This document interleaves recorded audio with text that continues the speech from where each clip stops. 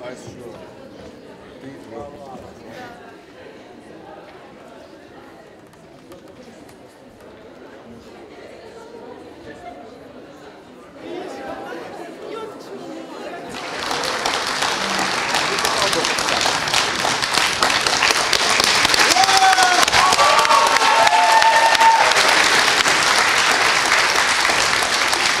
Сідати, так? Це зараз буде хвилина. Шановні студенти, гості університету, а, у нас сьогодні цікавий змістовний захід. Є, а, Однак а, я пропоную почати наш сьогоднішній захід з хвилини мовчання за загиблими шахтарями на Львівщині.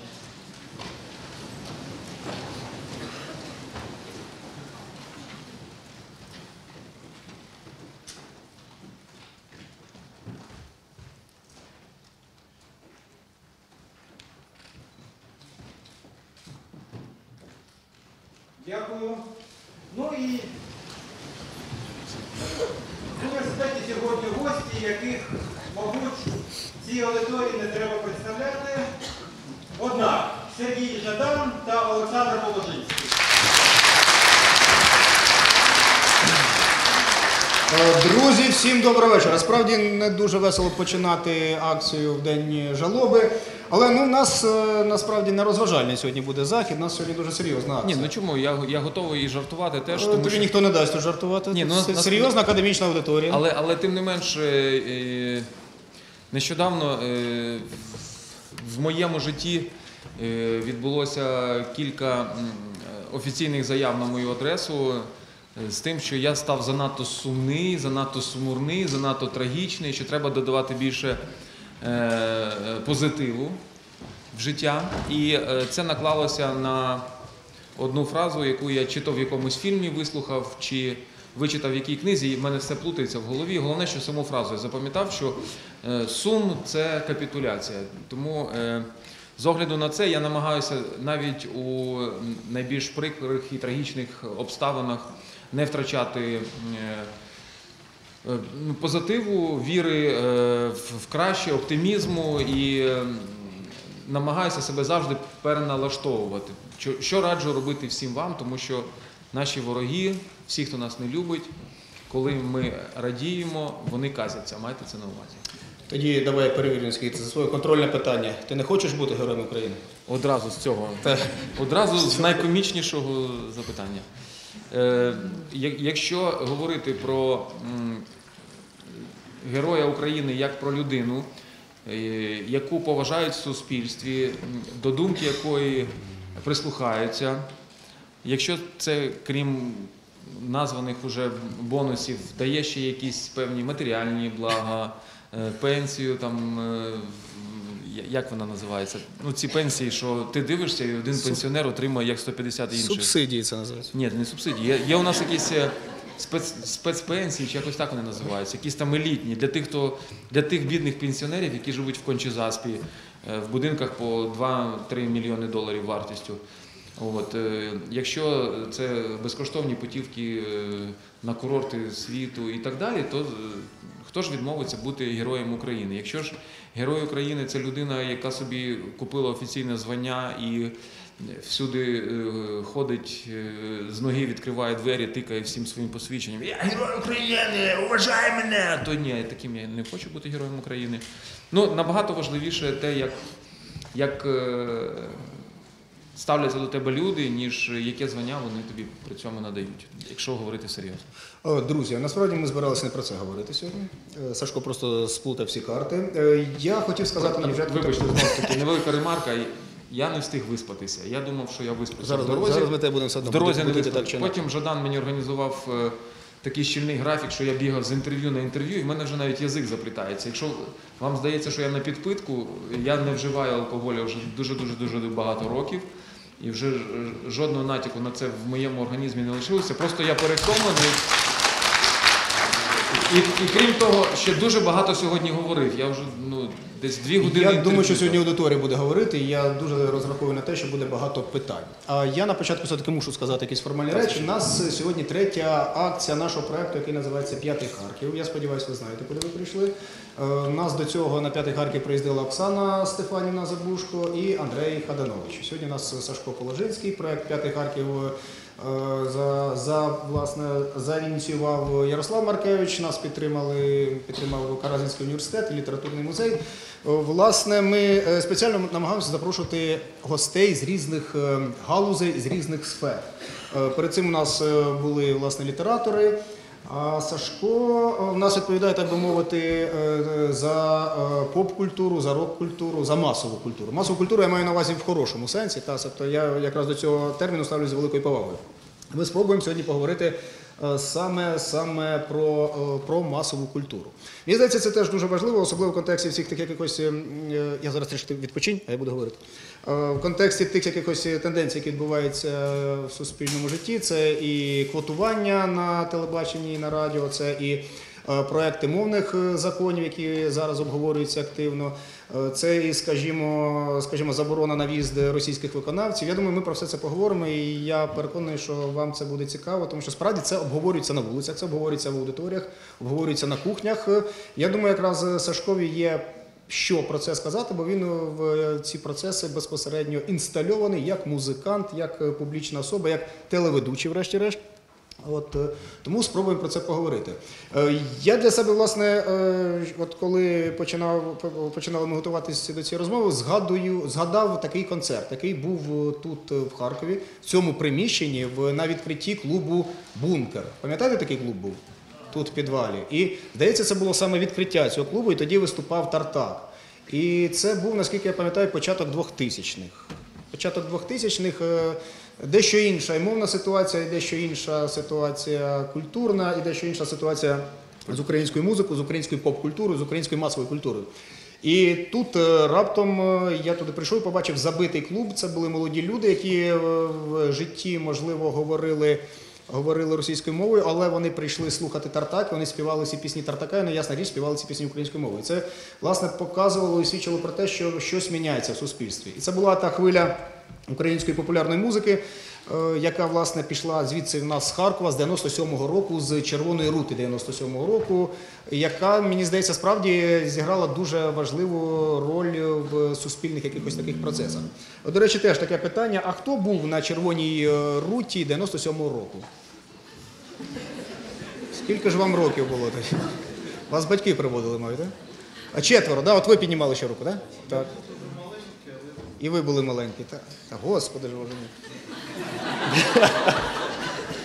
Цей, цей бородатий був дуже маленький. так. А я вже, а я вже там був не маленьким, розумієш? Ти не просто був немаленький, ти там був основний, наскільки я пам'ятаю. Ні, ну, але я, маю так на чи інакше. я, я про вік, мені вже тоді десь 25 було. Ну так, але саме Червона рута 97-го року і Харківська Червона рута дала світовій Україні Тартак. Ну, власне, тут Тартак стартував, тому я думаю, ми про це теж будемо говорити. І, Ну що, і давайте починати говорити, а то і що? У мене от, власне таке питання тут згадував і, і квоти, і, скажімо, зміну ситуації, те, що перестали їздити до нас російські гастролери. А що це дало? От скажи, за останні три роки в Тартака стало більше концертів чи ні? Е, В Тартака навряд чи стало більше, можливо, навіть трошки менше. Але е, ну, важко порівнювати е, внутрішні проблеми Тартака з ситуацією в Україні взагалі. Можна говорити про те, що взагалі кількість концертів українських артистів збільшилася. Збільшилась взагалі кількість впізнаваних українських артистів. І збільшилась кількість людей, які ходять на платні концерти українських артистів. І це мені здається дуже важливий показник. Не, не, не тільки те, що люди ходять на безкоштовні концерти української музики, але й ходять на концерти, за які треба платити гроші.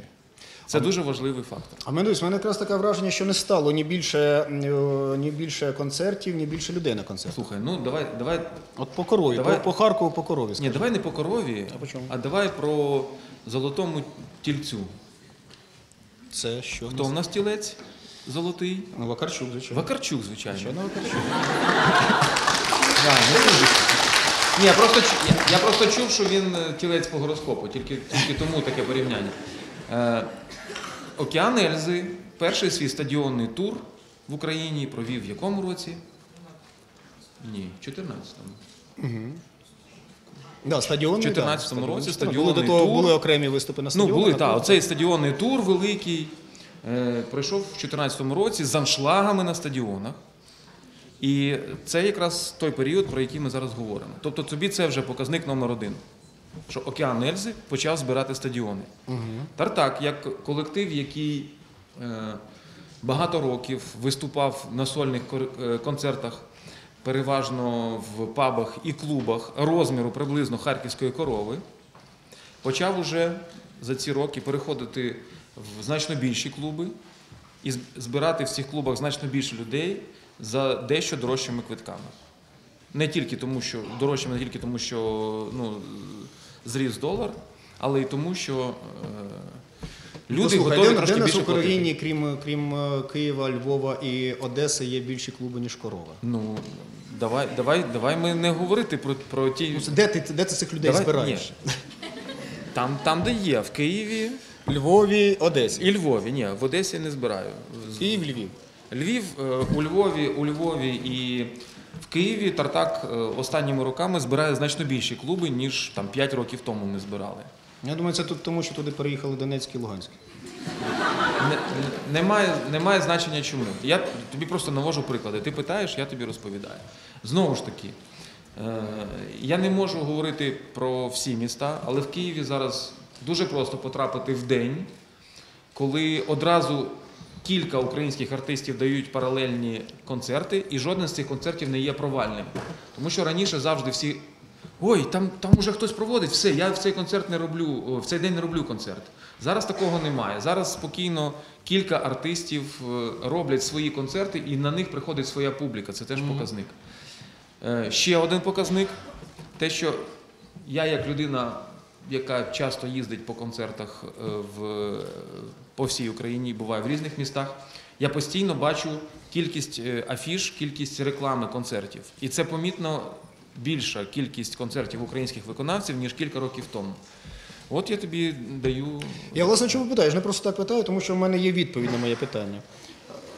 Мені- Жадани собаки почали заробляти Ні, на ні, я про, про інше, то само собою.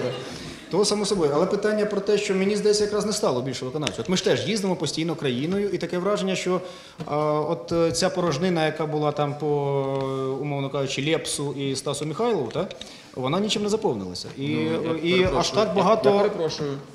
От те, що не задумуючись, спадає на думку.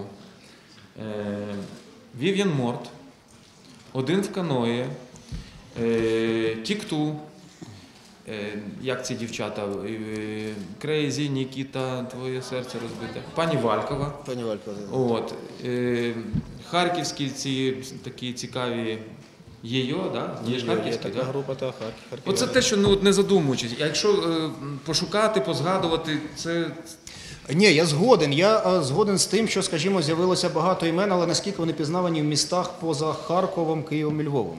ні, ну е, ти хочеш, щоб все одразу? Ну добре, Ну, да. бажано, звичайно. Ну добре. Тоді назву інших українських виконавців. Е, Сон-Тропе, Що, що, що? Курган і А, агрегат. так, так. Е, ну і там ще з цієї когорти можна багато кого згадувати. Ну, в різних людей. Дзідзю як виріс за останні роки. Ну, так Знову ж таки. Та, та, та, та. Підвів Ну, під себе. Добре, але скажи, е, себто ти, е, якщо говорити так е, загалом, ти бачиш е, якісь е, зрушення саме от е, в царині, в царині е, української цієї поп-культури, Слухай, культури? В мене е, два тижні тому на програмі виступав Вадим Олійник е, з- зі своїм проєктом, який називається Алейнік. Угу. При тому, що ми з ним часто спілкуємося українською мовою, так в житті, бо ми разом граємо в футбол, багато обговорюємо. Я вперше в житті від нього почув одразу три пісні українською мовою. Це для тебе не показник? Це, я вважаю, що це показник. Ну, показано, очевидно. Е, Брати Борисенки записали е, пісню українською мовою дуже непогано. Угу. З'явився е, нарешті україномовний поп-проєкт, за який не соромно. Іван Наві в минулому році. Це показник. Є, є, звичайно, і негативні тенденції якісь. От. Ми можемо говорити про те, що е, як би Монатік не намагався записати пісню українською мовою, все-таки е, його україномовна пісня по, рівню популярності не йде е, в жодні порівняння з його російськомовними хітами. І так само ну, мені прикро визнавати, що ми з ним. Е, Земляки, ми з ним з одного міста з Луцька, ми з ним прекрасно спілкуємося, одне одного поважаємо, але українською мовою він не дуже прагне творити свої пісні, і, і таких прикладів теж є достатньо багато.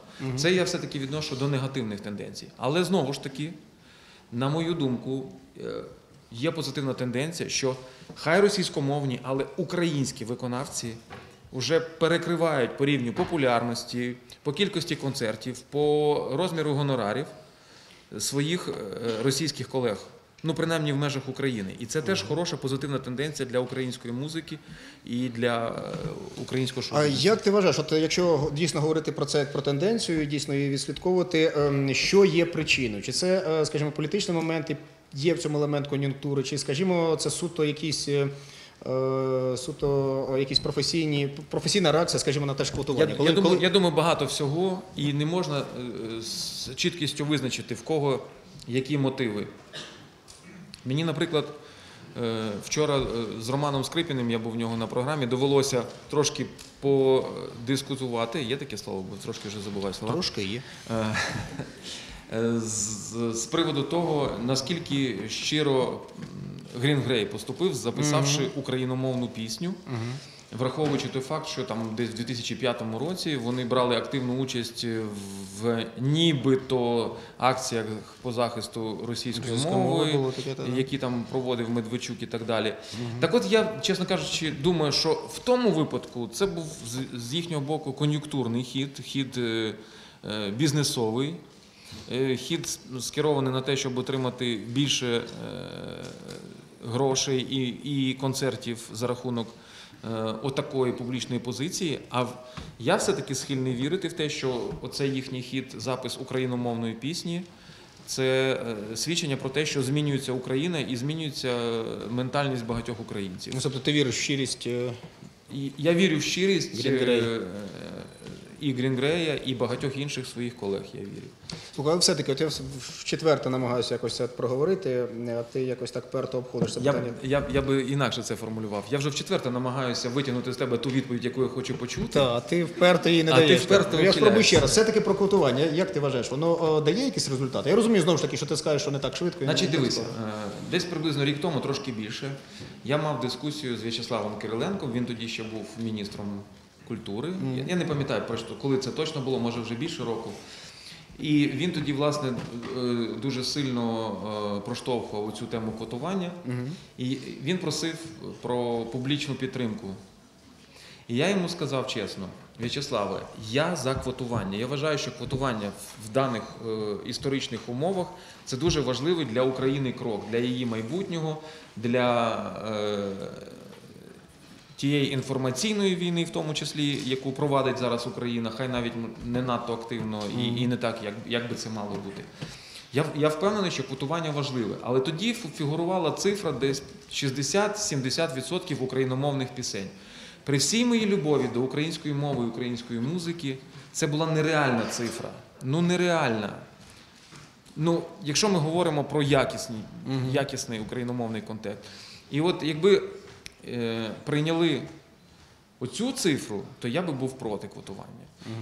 Але 30% це приблизно та цифра, яку я тоді в обговоренні з В'ячеславом озвучував. Я казав 25-35, от, ну, залежно від формату радіостанції, оце прийнятна квота на даний момент, яку можна більш-менш осилити більшості радіостанцій, і е, в межах яких можна заповнити ефір достатньо цікавою, ну, потенційно цікавою україномовною е, е, музикою. Ну, хоч може, україномовними піснями краще, бо музика вона не мовна, вона безумовна.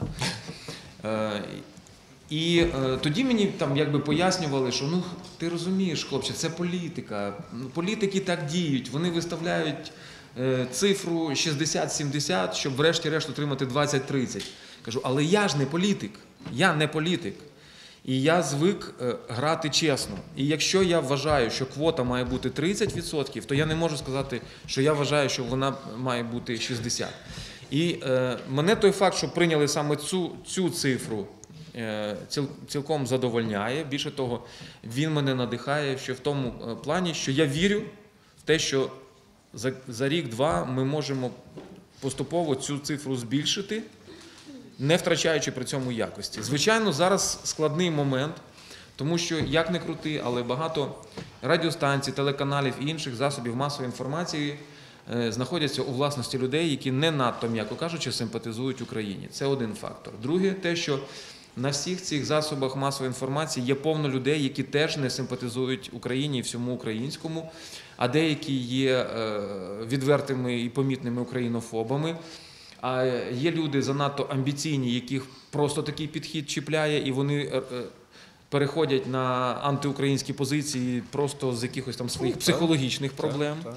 Найпростіша реакція От, просто так, е, дехто просто ледачий і йому хочеться йти простішим шляхом, а це ж треба заморочуватися, це ж треба шукати музику, це ж треба налагоджувати нові контакти, нові зв'язки, це ж треба шукати компроміси, спільну мову і так далі. Це все напряжно. Можна ж рухатися за старим е, е, графіком і, е, чи маршрутом.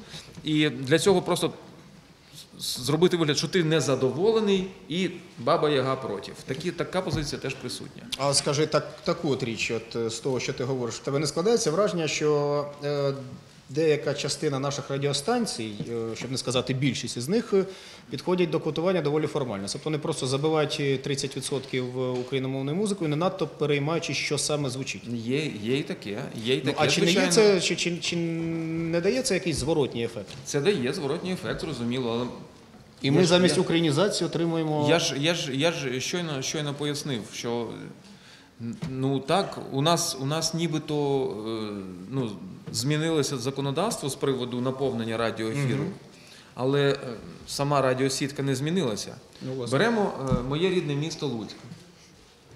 Вже багато-багато років місцева радіостанція, яка називається СІД-ФМ, і яка крутить значний відсоток української музики, здавна крутить, без усілякого квитування. Просто така у них редакційна політика, такі у них музичні вподобання і симпатії.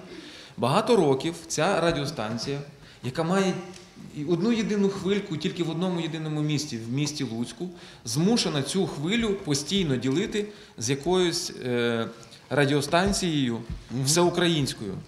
Але в, кілька разів мінялася ця радіостанція, з якою вони ділили, але завжди було так, що ця радіостанція мала свою окрему частоту цілодобову і ще й претендувала на половину частоти е, SID-FM. І що цікаво, ця ситуація досі не змінилася. У нас є радіостанція SID-FM, яка виходить півгодини щогодини. Уявляєте, так? Як, як класно е, прихильникам радіостанції SID-FM. Слухаєш півгодини свою улюблену радіостанцію, а потім ту радіостанцію, з якою вона ділить Ну, с- свій діапазон. Так? І е, та інша радіостанція має ще окремо свою там частоту. Я не хочу її називати, щоб не, не, не робити їй тут рекламу. Хоча я впевнений, що ви її теж слухаєте. Я розумію, радіовісті, очевидно. Ну ні, ні. Ну так говори, ні. так, так. Цієї радіостанції в Луцьку немає, до речі. Антирекламу вістями зробили, все, давай продовжуйте. От, е, до чого я веду? Бо Я веду до того, що якщо у нас багато-багато років е, на радіоринку працювали радіостанції, які нав'язували нам російськомовний контекст, які нав'язували нам певні музичні смаки, вподобання, е, а разом із тим е, певні якісь там стереотипи стосовно в тому числі і української музики, раптом мають цю ситуацію самі ж змінювати. Ну це десь приблизно так, як Порошенко має змінювати Україну на краще. Це десь приблизно те саме. Тобто Ну, важко, важко. людина, яка заснувала партію регіонів свого часу, людина, яка е, багато років провела у співпраці з людьми, проти яких е, ми виступили наприкінці 2013 року, прийшла, щоб змінювати Україну за новими принципами. Це десь приблизно те саме виходить. До речі, він сьогодні в Харкові. Чи не до речі, не знаю. Я знаю, що я, я ну, до чого. Ну, ні, тут, ну, тут його е, навряд чи я- буде, так що говори все, що думаєш. Ні, я, я, я чого знаю, що його тут немає, тому що я не проходив через рамку. Я от точно знаю, якщо йдеш через рамку, шукай президента. Якщо рамки немає, все спокійно. Я тому, до речі, не ходжу в Пінчук арт-центр. Бо завжди підозрюю, що там десь спасеться президент. Ну, так, та роз- розглядай арт-об'єкти. Щоб випадково не перетнутися і не довелося вітатися. Ну, але дивись, от якщо продовжувати говорити про радіоформат, про телеформат, виходить така дуже дивна річ. З одного боку, от е, відбувається українізація, та е, відбувається те, що, скажімо, ми всі підтримуємо, наповнюється е, наш інформаційний простір е, вітчизняним продуктом. А з іншого боку, ну дивись, фактично відбувається певна така підміна понять, тому що замість того, щоб просувати нову музику, якої в Україні дійсно дуже багато зараз з'явилося. Якісної, хорошої, незалежної музики, яка абсолютно неформатна. От вона виламується з того всього, що навіть було в 2000-х роках. А ми слухаємо хіти і, і кліпи з 90-х, початку 2000-х. Ну, таке теж є. Таке Ну теж і є. фактично і є сенс от у так, таких, у такому квотуванні. Ну, з одного, з одного боку, е, звичайно, хочеться, щоб музики було більше і було різної. Тим більше і вона було- є. І була і старіша, і новіша, і так. Але ну, не забуваємо про те, що радіостанція це бізнес. І людина, яка е, є власником радіостанції, або людина, яка керує радіостанцією, вона думає про бізнес-складову. І от вона знає, що є закон, який вимагає від його радіостанції 30% україномовних пісень. Е, ти знаєш програму, ну, можливо, чув про програму Україна має талант.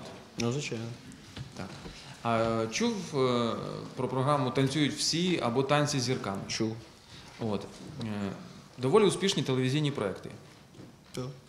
На початку 2000-х е, я, коли бачив своє майбутнє на телебаченні, і не знаючи про існування таких проєктів у західних форматах, бігав по, радіо, ой, по телеканалах з проєктами програми пошуку талановитих людей, е, програми зав'язані на, на, на танці, ну, коли там люди в танцях змагаються одне з одним, там були свої концепції, дуже близькі до названих е, тут програм. І я їх не здер, я їх просто собі вигадав. Ну, це лежало на, лежало на поверхні. Я е, там, коли був піонером, їздив в піонерські табори, і кожна зміна у нас починалася з конкурсу Алло, ми шукаємо таланти. Я думаю, що хто застав е, радянське дитинство, пам'ятає ці конкурси. Ну і цілком зрозуміло, що те, що робилося в піонерському таборі, можна зробити на телебаченні на іншому рівні, але по тій самій концепції, власне, Україна має талант, це і є, алло, ми шукаємо таланти, адаптоване під телебачення. Так от тоді всі супернаворочені директори, програмні продюсери мені казали, Саня, это никому не будет интересно. Какие танцы, какие таланты? К нам же полезут фрики. Кто любит смотреть фриков по телевизору? Це я тобі цитую приблизно інтонації і зміст сказаного. Тобто, ж, до чого я це веду? Що Веду ви до того, використали твої ідеї Ні, ні, і ні, не ні, поділилися ні. з тобою грошей. Ні, ні, ні, зовсім ні. Я веду це до того, що е, український медійний бізнес в першу чергу не хоче ризикувати. Він хоче рухатися за перевіреними схемами. Він хоче отримувати прорахований прибуток і по мінімуму ризикувати. І тому, коли е, в керівника чи власника е, радіостанції постає питання, яку українську музику крутити, він краще буде крутити е, перевірені часом і вподобаннями людей хіти, ніж ризикувати чимось новим. Ну, тобто, Звичай, я- звич- я- звичайно, звичайно, е, з часом, коли вони бачать, ага, от з'явилось нове ім'я, і воно дуже швидко е, пішло в маси, стало популярним. Ось друге, трошки змінюється підхід. Але е, мені здається, що от небажання ризикувати і, і рухатися за перевіреними схемами це головний аргумент на користь того, що е, вони крутять стару музику. Що стосується кращих прикладів. Разом з тим, все-таки деякі радіостанції свідомо і навіть ще до квотування почали збільшувати кількість україномовної музики. Хай це зараз виглядає як реклама, в тому числі через те, що це е, мої хороші друзі і партнери, по, в тому числі по організації концертів, радіостанція GMFM, яка здавна крутила дуже багато російського року і досі продовжує його багато крутити. Разом з тим, значно раніше, ніж почали вводитися квоти, почали насичувати свій е, ефір українською музикою, саме тією, яка подобається нам з тобою, так? ну здебільшого. І дуже багато українських артистів, які не мали можливості потрапити в ефір інших радіостанцій, там вже здавна звучать. Другий приклад. Радіостанція Країна ФМ, яка е, перейшла на 100% україномовну, е, україномовну музику, е, не тільки е, отримала можливість е, віщати на тих там частотах, які їм давно відведені.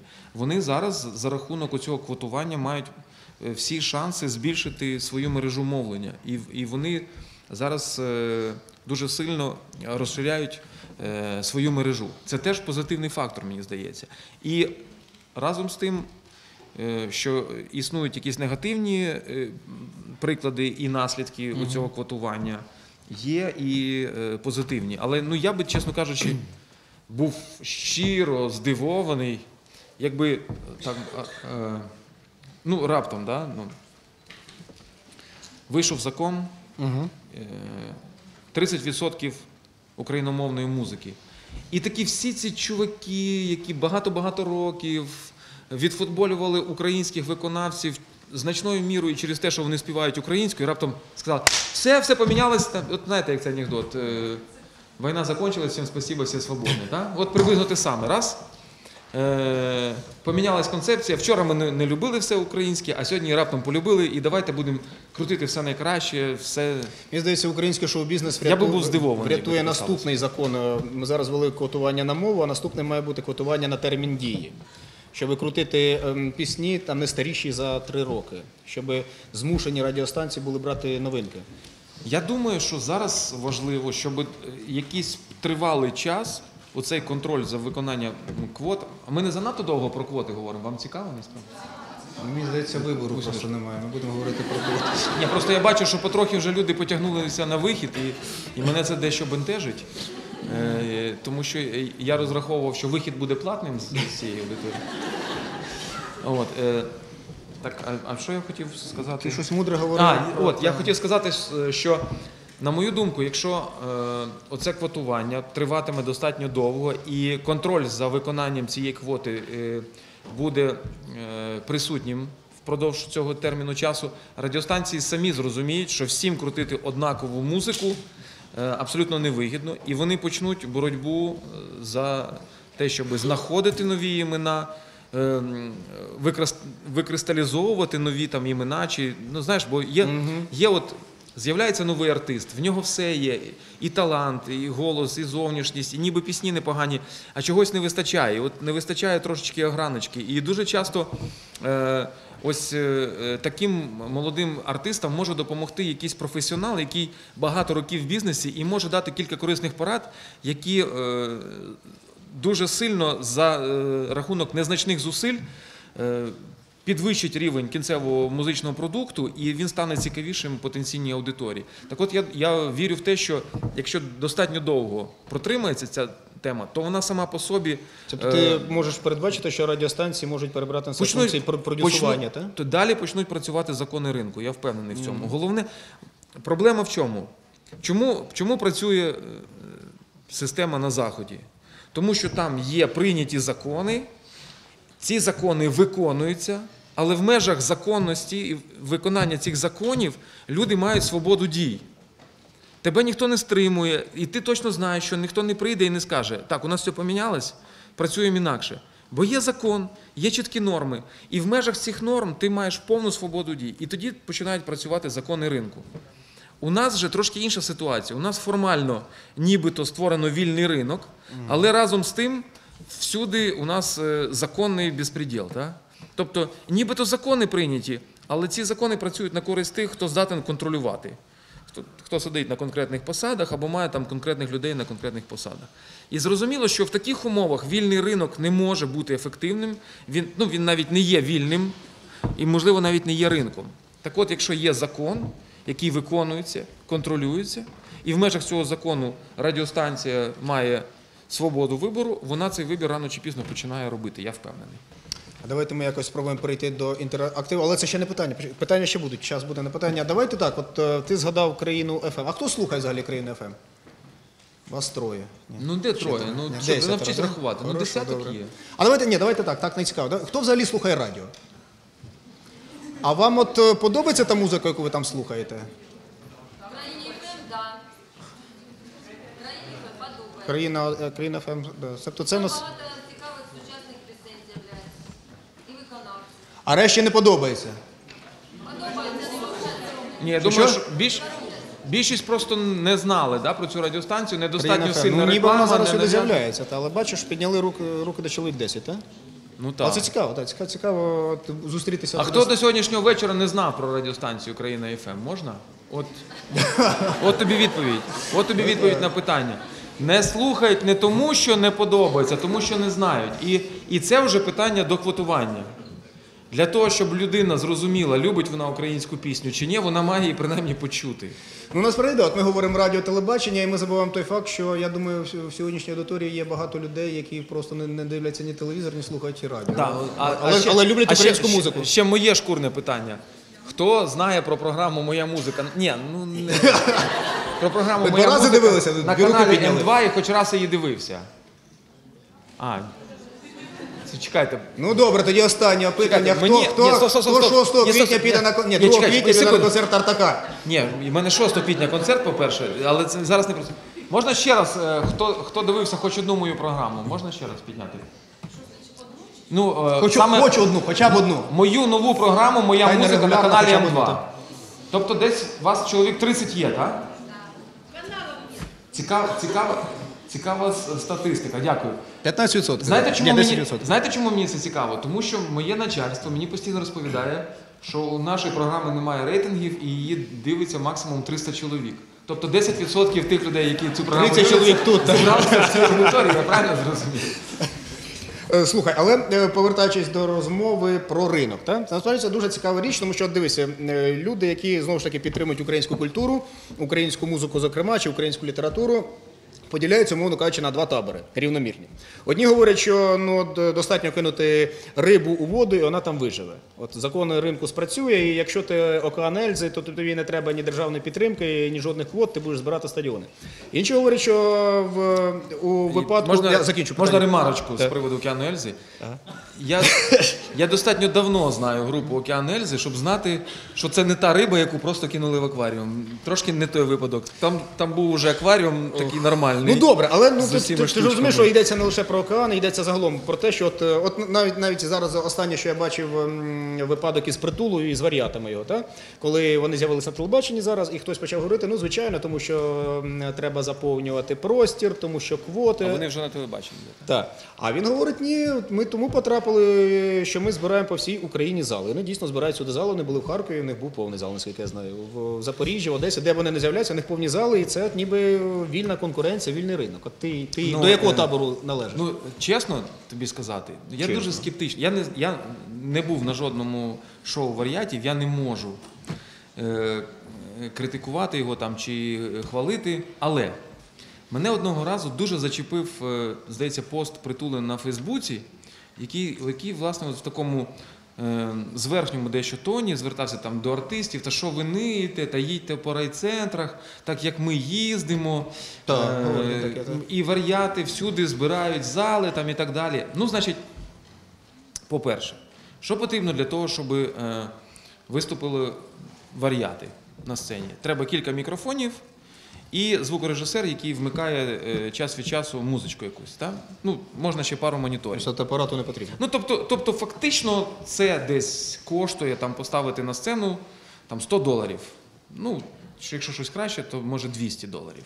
Для того, щоб більш-менш пристойно виступила група з чотирьох учасників Тартак, ця сума вже збільшується в кілька разів, тому що нам треба поставити більше беклайну, більше апаратів. Нам бажано, щоб ще було кілька якихось кольорових ліхтариків, тому що одне діло, ну, все-таки гумористичне шоу, друге діло музичне шоу, треба, щоб щось блимало. І тут уже якби витрати стартові одразу зростають. Це перший фактор. Але є ще другий фактор. Я би подивився, як би на варіатів ходили, якби не сам притула. Чоловік, якого е, впродовж багатьох років, мало не щодня, показують на одному з центральних каналів телебачення.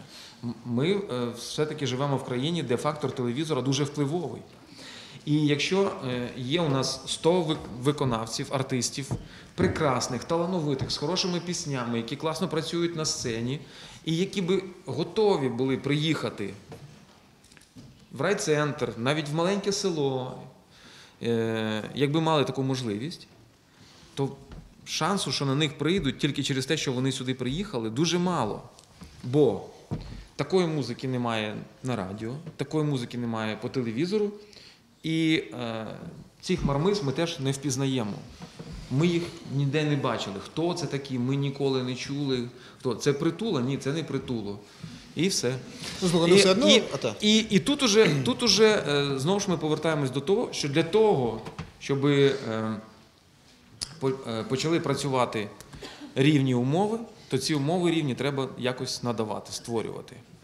Ну, себто тоді йдеться про присутність на телевізорі всіх, те, щоб були рівні мови. Я правильно тебе розумів чи ні? Ну, в- давай не обмежуватись лише телевізором. Ну, зокрема. Е, вільна можливість бути присутніми всім, не формально вільна, а реально вільна можливість, бо ну, ти знаєш, так, якби формально в Україні всі люди рівні, і формально в Україні всі люди народжуються з однаковими можливостями. Так? ти президенту скажи, поки він ще не поїхав. Ну, формально, формально так є. Формально так? так є. формально так є. Але реально ми всі знаємо, так? що хтось народився в одній родині в одному місті, інший зовсім в іншій родині в іншому місті. І, і вже від, від самого факту народження оця от е, нерівність можливостей початкових, вона весь час е, відображається. І в тому, в який садочок ти ходиш, в якій поліклініці лікуєшся, куди їздиш відпочивати влітку, до бабусі в село там, чи в школу вивчення англійської мови десь е,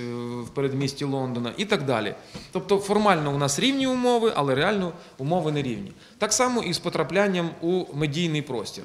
Нібито формально у всіх умови різні. Ну хто, хто, хто вміє смішити, легко може потрапити на, на телебачення в якості там. Е, А навіть не сміхаря, вміти смішити. От, хто вміє співати, легко може потрапити на телебачення. не обов'язково вміти Але це тільки здається, бо завжди всюди десь працюють якісь бар'єри. Мгм. І е, якщо ми говоримо про рівні умови, то треба намагатися якось ці бар'єри усувати.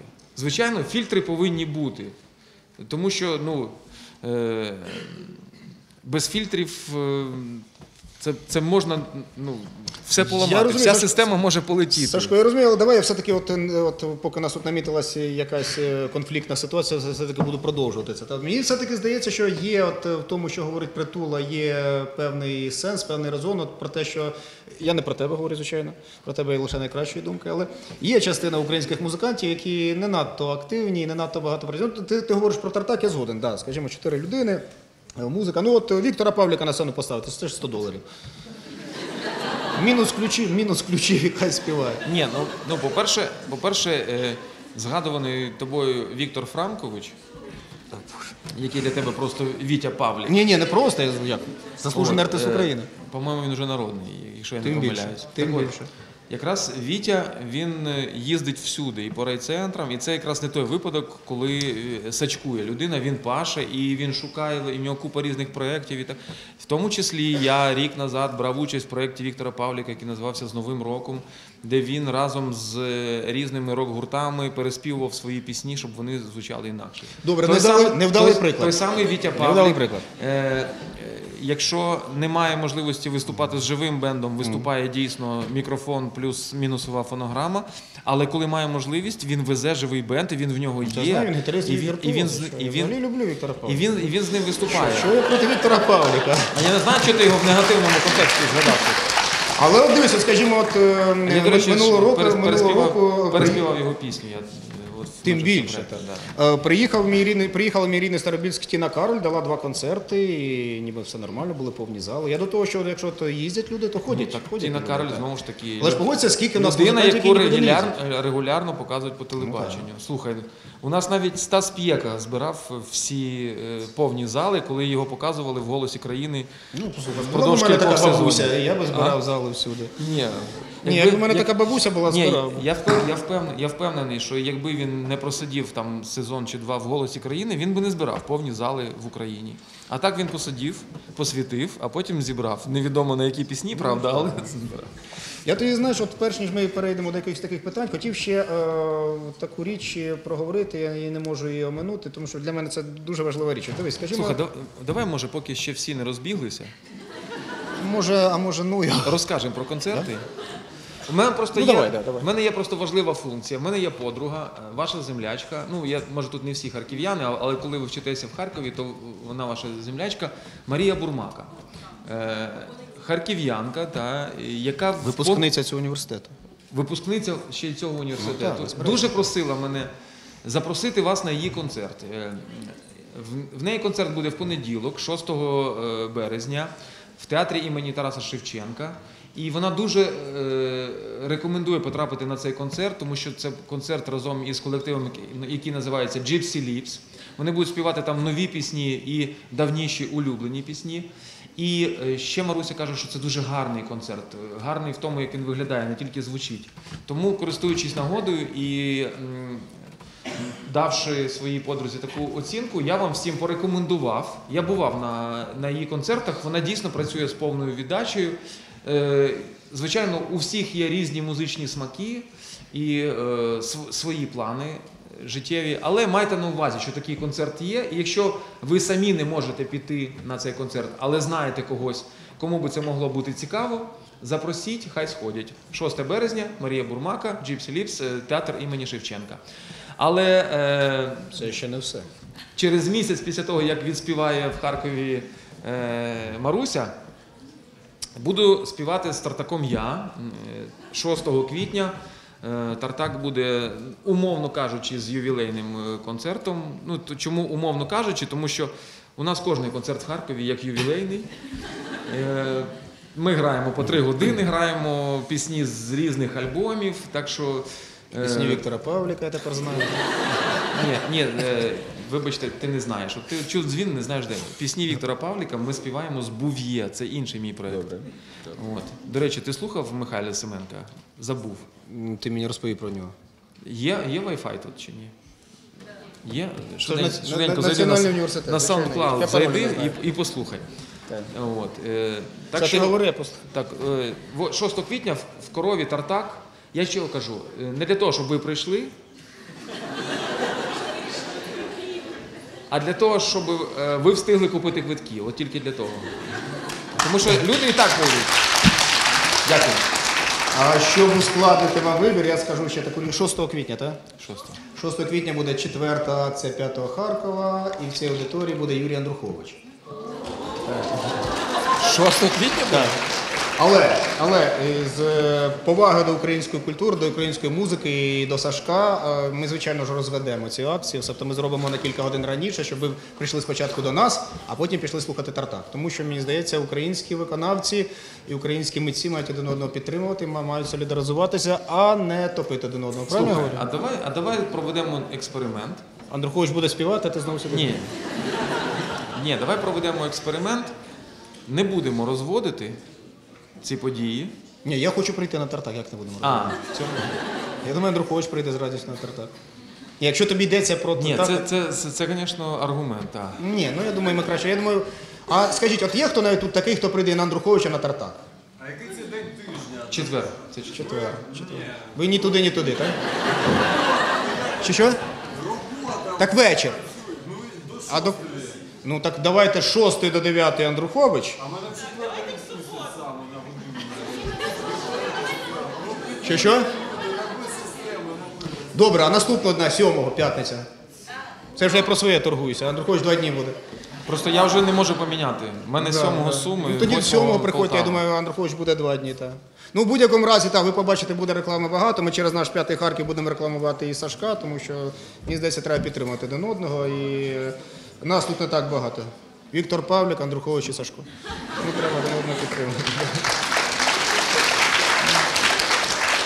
А слухай, а питання в мене було. Питання, я, якщо та. І останнє питання від мене, щоб я дійсно не забарабатив. Чи, А. чи ти хотів ще б щось прорекламувати? Ні, я просто не знав, що це твоє питання останнє буде. І тому Ні, ні, так питання, а вирішив потім я думаю, буде, скористатись буде, нагодою. буде питання тільки. Я власне що хотів запитати. Дивись, ти ж фактично один із небагатьох е, ем, виконавців, яких показують по телевізору, але який співає не лише про любов.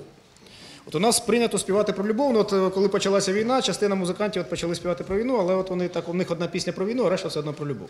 Для тебе ніби ця соціальна і така, ну сказати, ну мабуть, не політична, соціальна я назву, да, складова. Вона, мені здається, вона завжди була. Вона, як мені видається, дуже природня, і багато хто ж е, Тартак такий любить. І мій лицарський хрест, і Герої України, і багато інших речей, які ну не є піснями про любов, хіба що про любов до України. І, власне, як ти загалом ставишся до соціальної складової в культурі, в музиці, в літературі загалом? От потрібна соціальна складова в мистецтві чи ні? З якого моменту стало незрозуміло? Ні. Ну, ну, типу, е, іншими словами, як, як виглядає це запитання?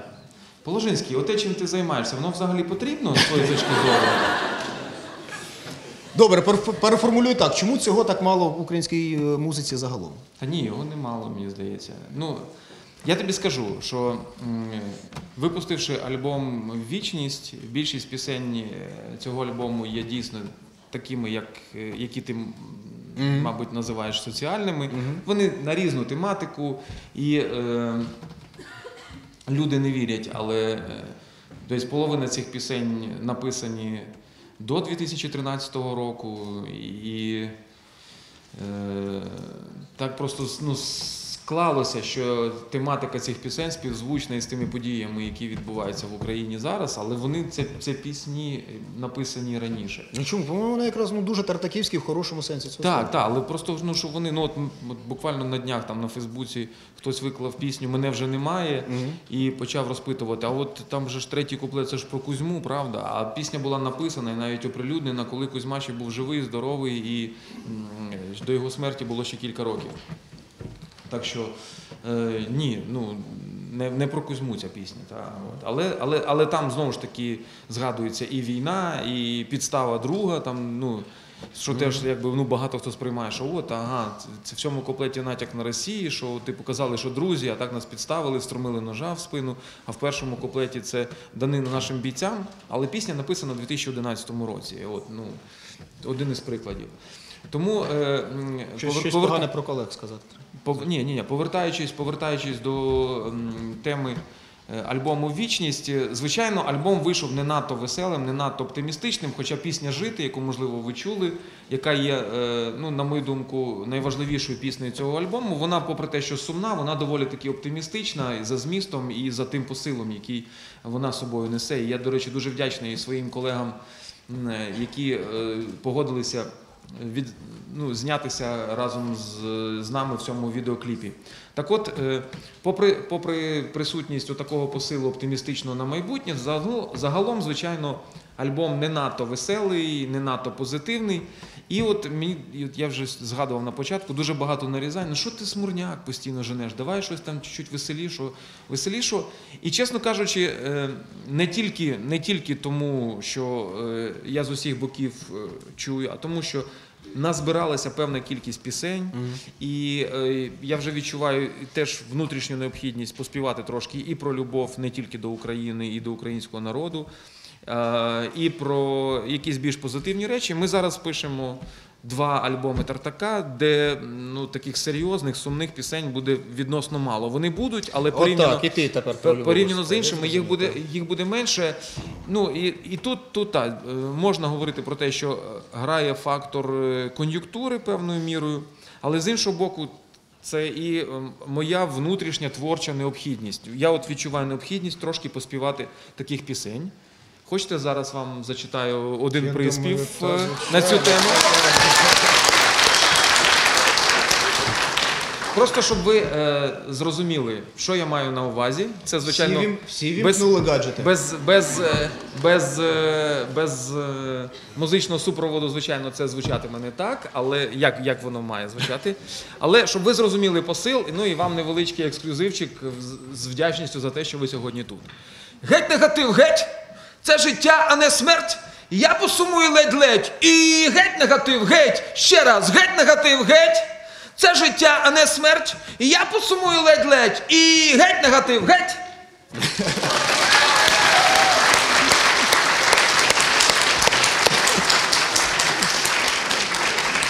Ну, я думаю, саме час переходити до ваших питань.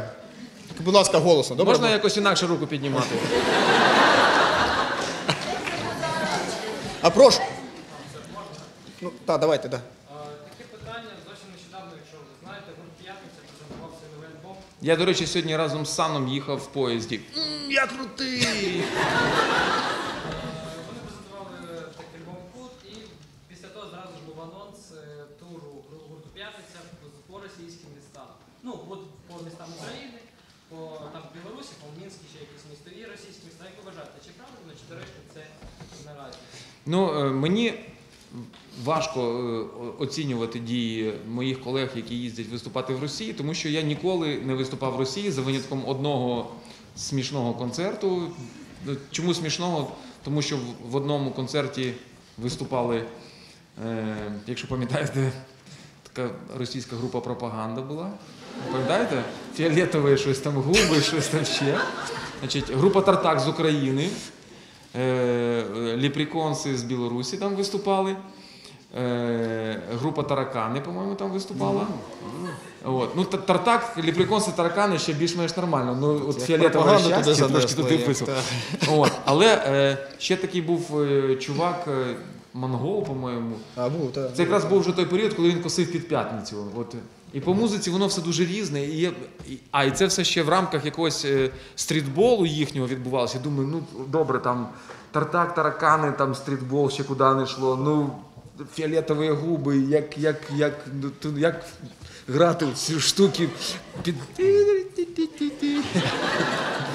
От. Ну, але е, був такий, ще, ще до речі, дуже, дуже смішний епізод.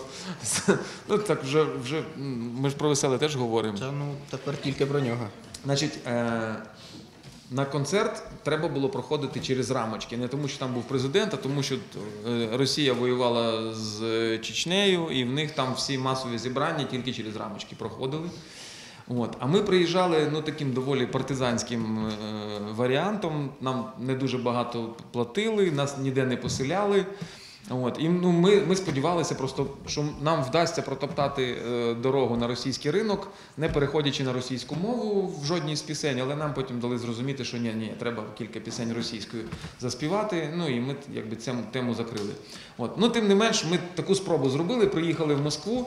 Ну а жили по друзях, хто де мав, і от там хлопці, музиканти Тартака, значить, жили десь там на квартирі.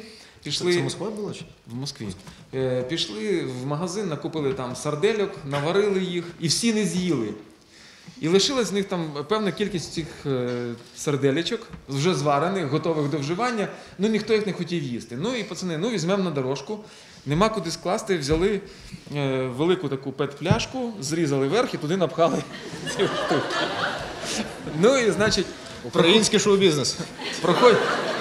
Проходять вони, вони цей рамочний контроль. Щось там в сумці задзвеніло. Ну і, значить, Р- Радіоактивні росій, російський полісмен просить показати, що в сумці. Ну і, і е, теперішній гітарист бумбокса, а тодішній гітарист групи Тартак Муха відкриває свою сумку, дістає цю в'язку е, цих динамітних шашок. Ну і, і е, по тому, як мені розповідали, е, поліцейські вже готові були лягати вже там. Вже думали, що зловили шахіда. А ну, ви ж муху бачили, так? Да? На кого він схожий, так? На шахіда. Да, На ну, антишахід. А, і, така була команда. І, і, виходячи от, з цього, як ти ставишся да, до. е, да, тому давати оцінку, наскільки. От я з повагою величезною ставлюся до пацанів з бомбокса, що вони відмовилися від цих концертів. І це з мого боку величезний е, респект, уважуха і, і любов. Але е, я не, не готовий засуджувати всіх, хто туди їздить. Я не знаю внутрішньої мотивації. Я не знаю, наскільки це складно відмовитися від е, так заробітків, е, від е, так прихильників. Там прихильники є, прихильники е, справжні. І ну, я, от, я, я не впевнений, що я би зміг Я допускаю, що так, але може і ні. І це теж аргумент. Інша справа, під яким соусом що подається, ну це вже хай буде на совісті людей. Ну, загалом я не засуджую. Я засуджую антиукраїнські виступи. Я засуджую виступи на концертах, які носять е, душок антиукраїнськості. Ну там, для прикладу, на концерті до Дня захисника вітчизни в Кремлівському палаці. Ну, ну, такі концерти я, звичайно, засуджую. От, е, а якщо там якісь там свої тури для своїх прихильників, то треба знати ситуацію зсередини. Я розумію, що твоя відповідь мені не подобається, бо ти хотів, щоб я сказав, та козли, що? Та Санта, я йому чуть не наваляв там в поїзді. Ну ні, не було цього. Я ставлюся з, повагою. Я, я невеликий прихильник п'ятниці, брехати не буду. І, ну, не дуже мені така музика подобається. Але я з повагою ставлюся і до Бабкіна, і до Сана, і не беру участі в всіх цих масових травлях.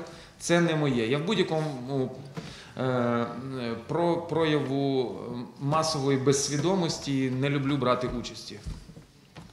Але ж є певні моральні, певні принципи у кожної людини. Ну, ти бачиш, що це Ну, агресор. Виступати країні агресорів наразі. Ну, ну, ну слухай, ну, е, ну разом з тим, разом з тим, ну от MC приїжджає, робить тур в Україні, наприклад. А,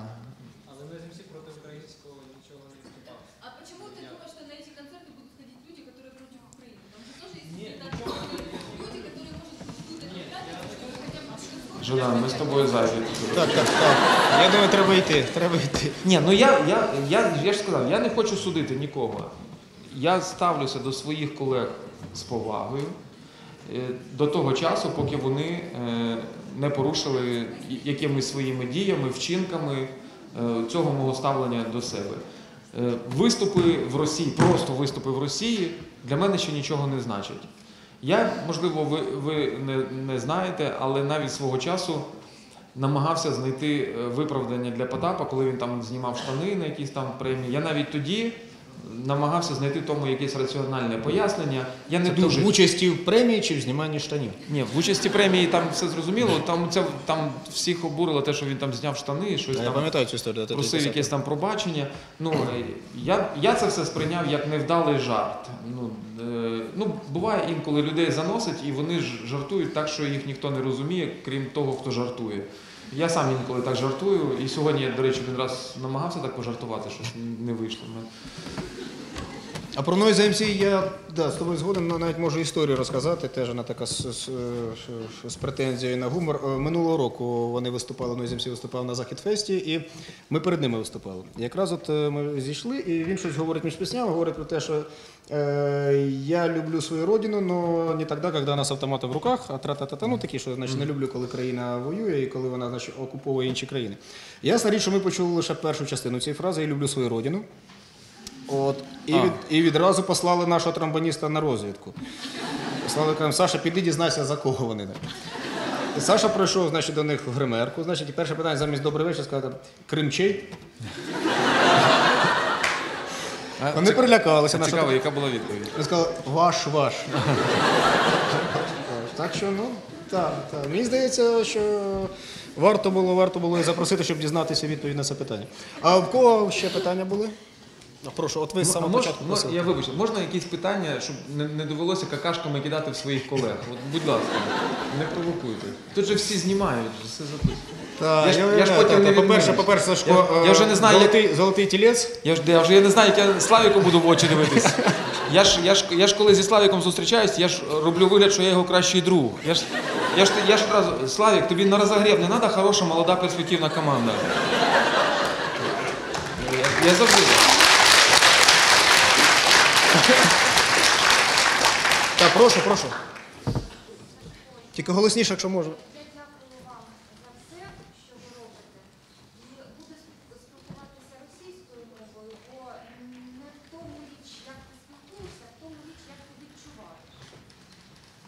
Я. Вибачте, ремарку, я закінчував російську школу, я російську розумію.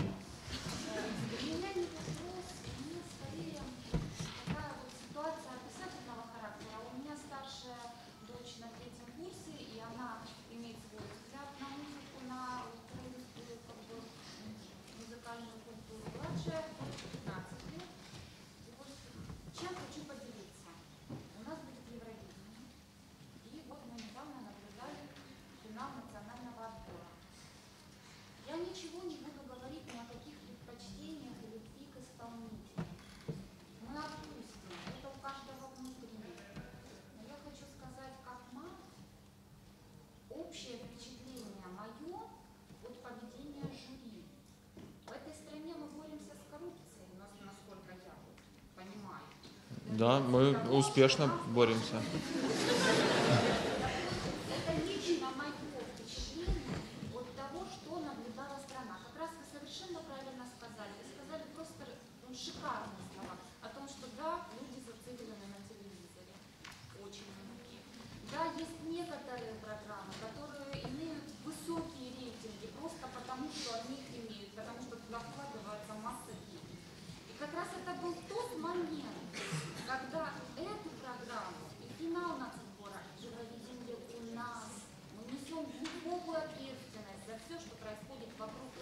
Ви, ви так вже закрутили, я вже не розумію, яким боком тут я.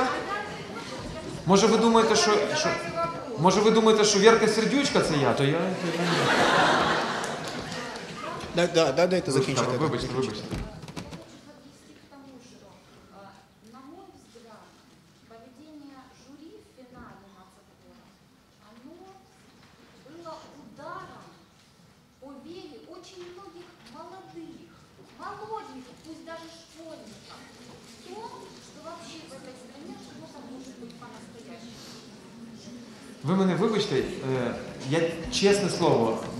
Дивився відбір.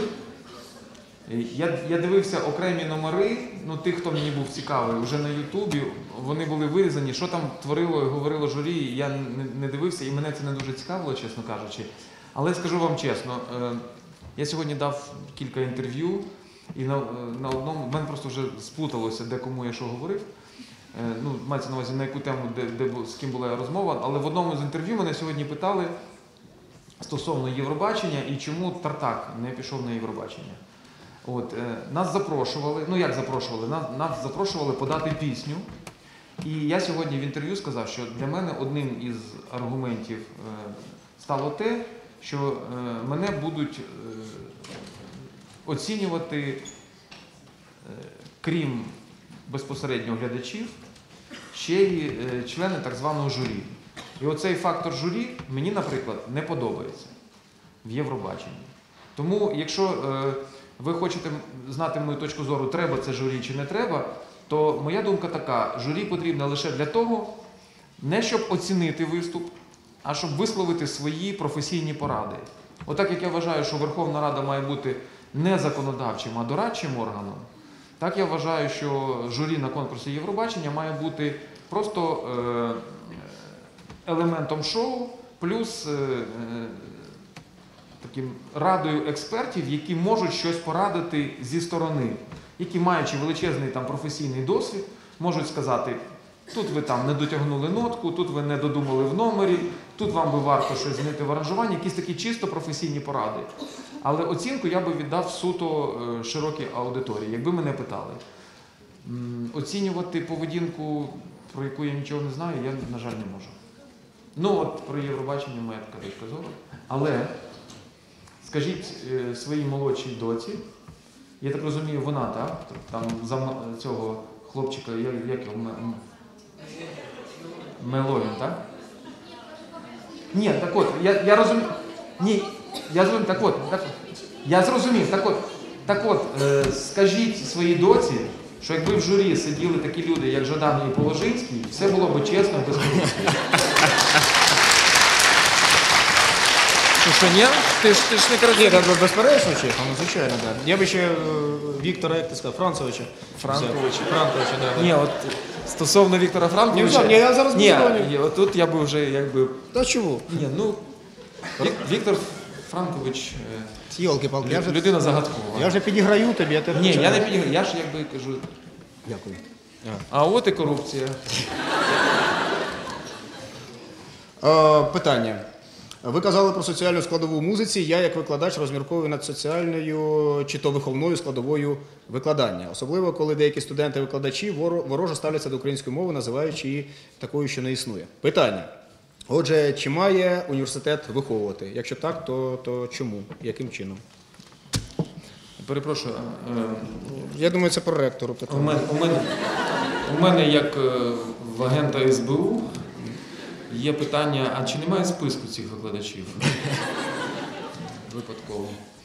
Е, ну, і- ну, Ну, це, це загальне таке питання, загальнолюдське. Чи повинна дійсно вища школа виховувати, чи вона має лише навчати? Я А думаю, це- я, це я до так мене зрозумів. питання? Ну, я думаю, ти ж гість. тебе питання. Е, Ти закінчував російську школу, відповідай.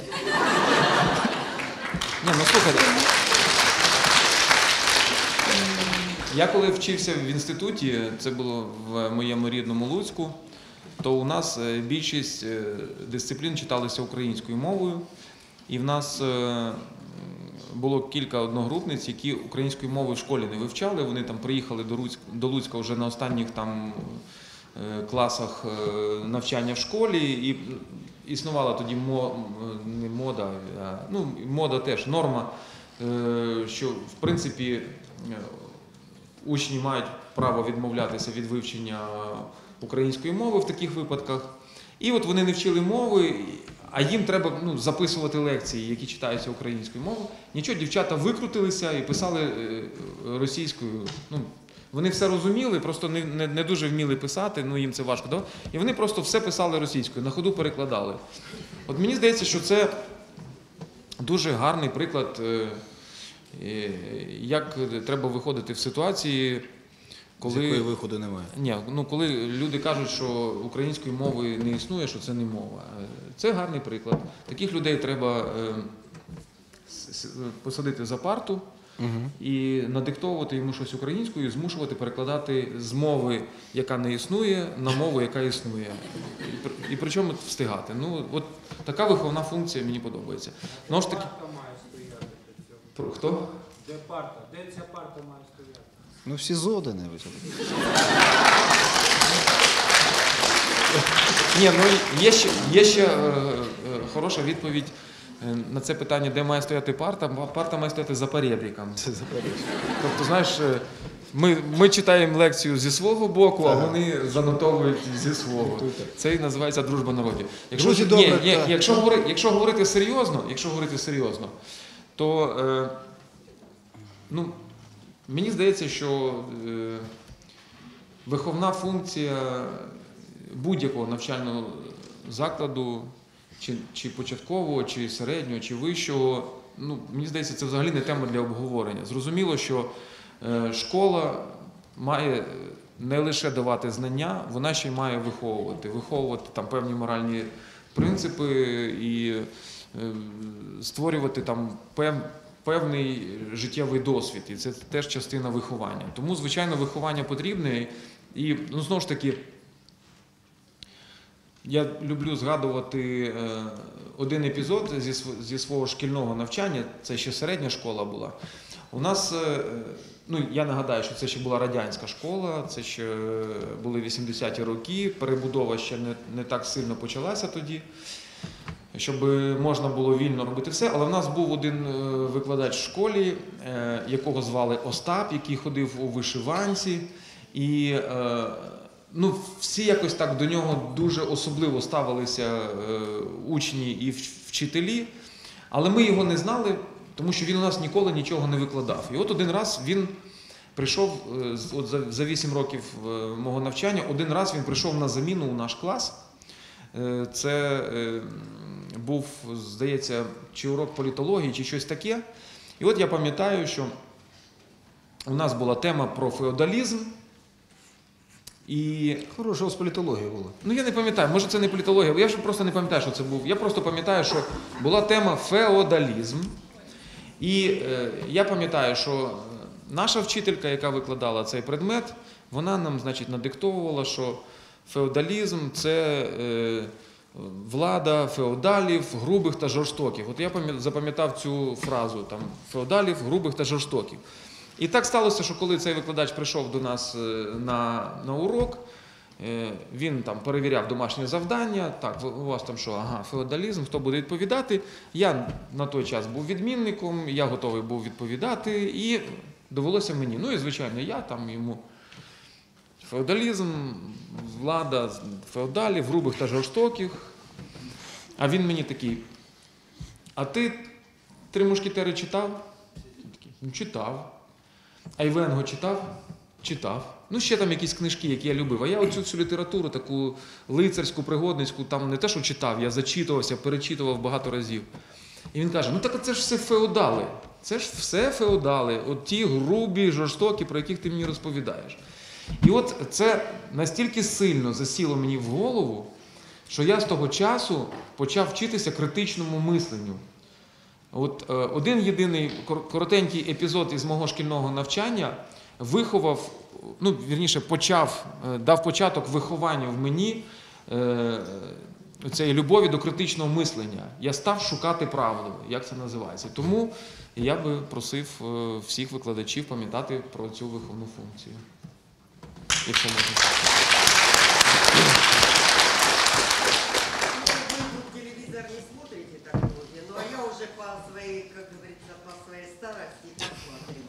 Не ну. Не наговорюйте на себе, ну що ви? В ту субботу был у Гордона Кравчук. Хто хто? А, Кравчук. треба було запитати, в кого в кого?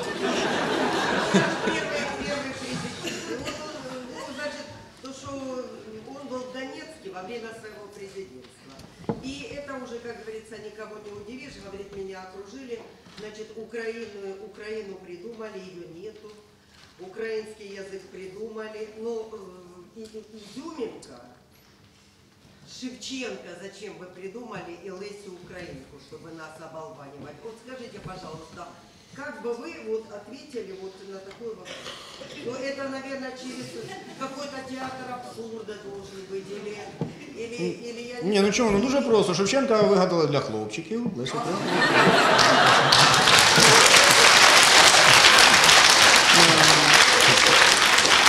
А, а якщо серйозно відповідати, у вас же були концерти в Донецьку, в Луганську? Ні, ну е, по-перше, м- мені, мені дуже сподобалася ця фраза, так? А що з Гордоном? Що, що з ним сталося? Там в нього, в нього Кравчук. У, у що, що в Гордона? Там Кравчук. Е, е, є такий е, футбольний стадіон, називається Донбас Арена. Коли його відкрили, там було пишне відкриття, і е, вирішили почати там проводити серію вже офіційних е, матчів футбольного клубу Шахтар. То е, вирішили для того, щоб заохочувати. Ну, тепер у ФК Шахтар значно більший стадіон, треба заохочувати, щоб люди ходили в більшій кількості на футбол. І почали шукати варіанти, як людей додатково заманювати, заохочувати. І от придумали таку штуку робити футбол плюс концерт. В чому це мало полягати? Мало полягати так, що люди приходять на футбол, дивляться футбол, а після футболу, кому мало, і хто хоче отримати за, за один квиток два задоволення, іде на концерт. Там же ж в межах е, цього е, стадіону, ну там ж великі ці приміщення, там є дуже багато всередині таких великих залів. І в одному з тих залів ставлять значить, сцену і роблять концерт.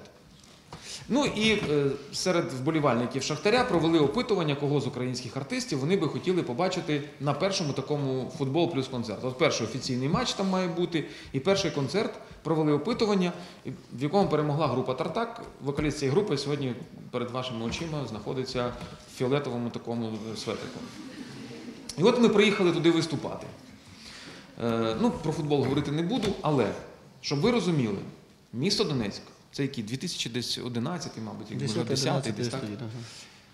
Е, величезне приміщення. Це не концертний зал, це, ну, ну, умовно кажучи, там величезний ангар, в якому поставили сцену. Та? Великий відкритий простір, як кілька цих аудиторій, якщо винести от, там, всі парти, столи, просто чистий простір, всі стоячі. Людей повно.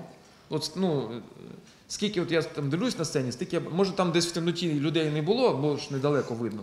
А от в межах освітлення людей повно стоять щільно, вимагають пісні. Лицарський хрест, не кажучи нікому.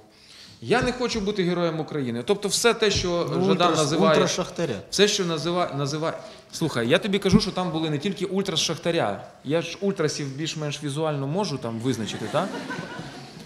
Враховуючи, що багато хто думав, що я ультрас багато років. От. Люди дуже різні були і вимагали ці пісні, не випускали нас зі сцени. І е, це був концерт, який розганяв Донецький Беркут, щоб ви розуміли. Мене просто Беркута знесли зі сцени, винесли з залу, і на цьому концерт закінчився. От це вам е, яскравий приклад е, того, які люди, крім тих хворих, про яких ви згадували. Ну, е, це не смішно, ну, ну, ну реально, ну, ну, ну вигадати Тараса Григоровича. Ну, Хто міг таке придумати? Тільки якась нездорова фантазія. Це, це вже точно ну, е, пацієнти для- клініки. Інакше я не скажу. І це не зневага до цих людей, це, ну, це мій великий біль. Мені хочеться, щоб люди були живими, здоровими і щасливими, а не хворими, в тому числі і на голову. Я можу теж розказати історію про донецьких ультрас. От е, я про них писав текст, це був 11-й рік, і поїхав е, з ними знайомитися. Вони взяли мене на, до себе на трибуну. А них же там трибуна була, це здається, був перший український стадіон, де ультрас стояли. Вони не сиділи, вони стояли. Їм, їм не треба було стільців, тому що вони їх ламали відразу. От, і вони стояли, і теж от ми з ними перед цим е, говорили. Я чому ти от говориш, що вони різні, так і ультрас різні. Там дуже різні люди були. Були якісь студенти, були безробітні, були е, підприємці, були якісь лікарі, але от вони сходилися, вони всі ставали ультрас.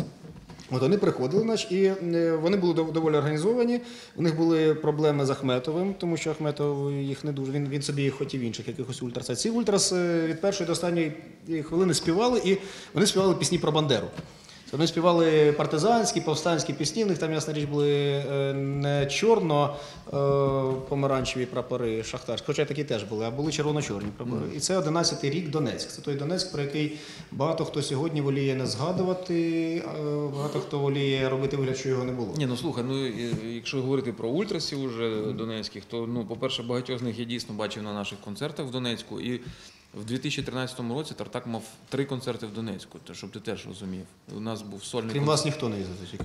Ні, їздив. Просто ну у нас був сольний концерт в клубі Ліверпуль. У нас е, ми приїхали десь в червні чи в липні. З, е, з туром МТС виступили, і настільки сподобався наш виступ, що нас ще запросили потім на День Незалежності. Так що на День Незалежності 2013 року е, Тартак там виступав в Донецьку. І, а, до речі, ну, можливо, трошки не в тему, ну цікавий дуже порівняльний такий фактор. Е, Проходив День Незалежності, проходило два концерти. Той е, в Донецьку. Е, Той концерт, на якому ми виступали, це центральний парк, де там у них там сцена ця стаціонарна, і де більшість концертів проходили. А, і де виступає Тартак, і другий концерт десь в якихось там чи передмістях, ну десь далеко. Я просто я їздив на два концерти. На тому концерті ведучими, е, до речі, підзаробляли мої харківські друзі, два товариша. І я приїхав е, до- них в гості, і, чесно кажучи, я побачив два різні концерти, і я побачив два різні аудиторії. Дві різні аудиторії. На концерті Тартака були люди, які, е, я переконаний, брали участь у всіх проукраїнських акціях. А на, на тому концерті, де ну так, були ведучими харків'яни два товариша, але, але е, музичне наповнення, наповнення було абсолютно не українське. Там були якісь російські е, зірки, не пам'ятаю, хто не буду Ну, брехати. навряд чи два товариша визначали, хто буде виступати. Так, ну я, я розумію, що їх запросили просто на конференції. Ну просто я маю на увазі, що е, хлопці ж то свої. Ну, два і- різних Донецька. Так, так, але я побачив два різних Донецька. І там була зовсім принципово інакша публіка. І там, ну, ну чесно, ну. Там була публіка, яку я б не був би щасливий бачити на своєму концерті. І ну, прикро, так, але я би хотів, щоб е, всі ті люди, які ходили на наші концерти, я переконаний, що більшість з них е, зараз, е, якщо не в, рядах Збройних сил України, то принаймні на нашому боці працюють і, і щось роблять корисне.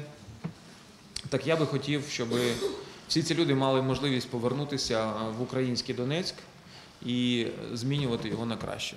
Я думаю, так і буде. А прошу вас. Скажи, будь ласка, а зараз Тартак дає концерти з АТО?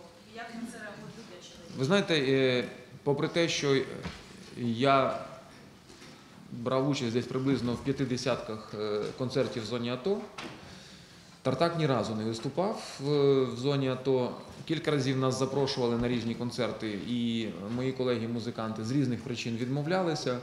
Комусь було страшно їхати, хтось, можливо, має трошки ну, якісь там упередження е, з приводу цього. Ну, факт той, що Тартак жодного разу не виступав е, в зоні АТО. Так само, як і Був'є жодного разу. Теж я своїх хлопців з Був'є намагався кілька разів загітувати, поїхати зі мною в АТО. Теж ніхто не погодився, теж знаходили різні аргументи. Ну, частково, частково люди бояться, тому що оцінюють ситуацію лише по тому, що вони бачать по телевізору або в інтернеті, і ну там їм покажуть обстріляну Авдіївку. І вони думають, що там в зоні АТО, от в усій 30-кілометровій зоні, е, вздовж цієї лінії фронту таке відбувається. І не розуміють того, що е, туди, де таке відбувається, артистів просто не пускають. І ну, не вдається переконати людей, що за деякими винятками, правда, Борисе? Ну, за, де, за деякими винятками, туди, де небезпечно, артистів не пускають. Правильно чи ні? Ну, от. Ні, ну, Якщо дуже хотіти. ні, ну прорватися і е, захотіти це ж трошки різні речі. От, тому Тартак ні разу не виступав. Е, Сам я теж уже з, з літа не їжджу, тому що е, запрошення Севастьянова я е, ігнорую. Я просто, я просто підозрюю, що він мене використовує якось. Не знаю як, але підозрюю. Ні, якщо серйозно, то е, е, ми їздили просто з, з Андрієм Ріфмастером е, постійно в ці такі тури. У нас такий був спаяний тандем. Ми е, напрацювали всі маршрути, а потім Ріфмастер подумав. А, і там ну, така ситуація, що ну, і приїжджаємо ми з Ріфмастером, виступаємо ми з Ріфмастером. Е, Ріфмастер грає пісні і свої, і Тартака. Коли співаю я, я кажу, зараз пісні Тартака. Коли співає Ріфмастер, я кажу, зараз пісні Ріфмастера. Я весь концерт кажу, що це не, не Тартак, що це Тартак, Ріфмастер. Інколи з нами там ще їздив бітбоксер Льоша Че. Там. А це Льоша Че, ми всі три, три різні виконавці. Я побачив ваші руки, дівчата, не тримайте. Я ще відповідаю на питання. І після концерту виходять там, ну, наприклад, там замполіт військової частини, там, де ми виступали. Дякуємо групі Тартак, що приїхали з таким прекрасним концертом. І рифмастер такий. І його це все дістало, і він став їздити сам уже, і, і всю славу тепер йому. Дякуємо тобі, рифмастер, що ти до нас приїхав. От, так що е, я зараз не їжджу, але шукаю варіанти, і як поїхати. Тому що, ну, по-перше, це дуже сильні емоції. Е, Насправді, е, жодні мирні концерти, яка би не була класна публіка, е, в яких би класних місцях і за яких би класних обставин не проходили, е, в емоційному плані з цими концертами не зрівняються. І я постійно раджу своїм колегам-артистам хоча б один такий концерт зіграти, щоб ці емоції відчути. Це просто ну, щось неймовірне, те, що не можна передати словами.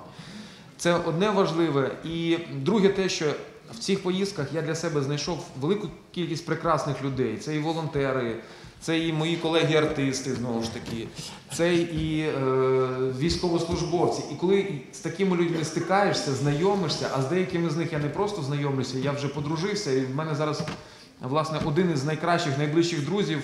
Це хлопець, е, з яким я познайомився в АТО. Він там служив. Зараз він вже е, ну, демобілізувався, але ми продовжуємо дружити. І ще кілька є військових, е, з якими я е, познайомився, здружився і зараз підтримую дуже такі хороші дружні стосунки. Ми часто спілкуємося, бачимося, коли вони приїжджають до Києва. Це теж дуже сильно мене збагачує. Тому я дуже хочу продовжити свої такі поїздки. Дівчата. Ну, давайте якось по черзі. Я пам'ятаю ваш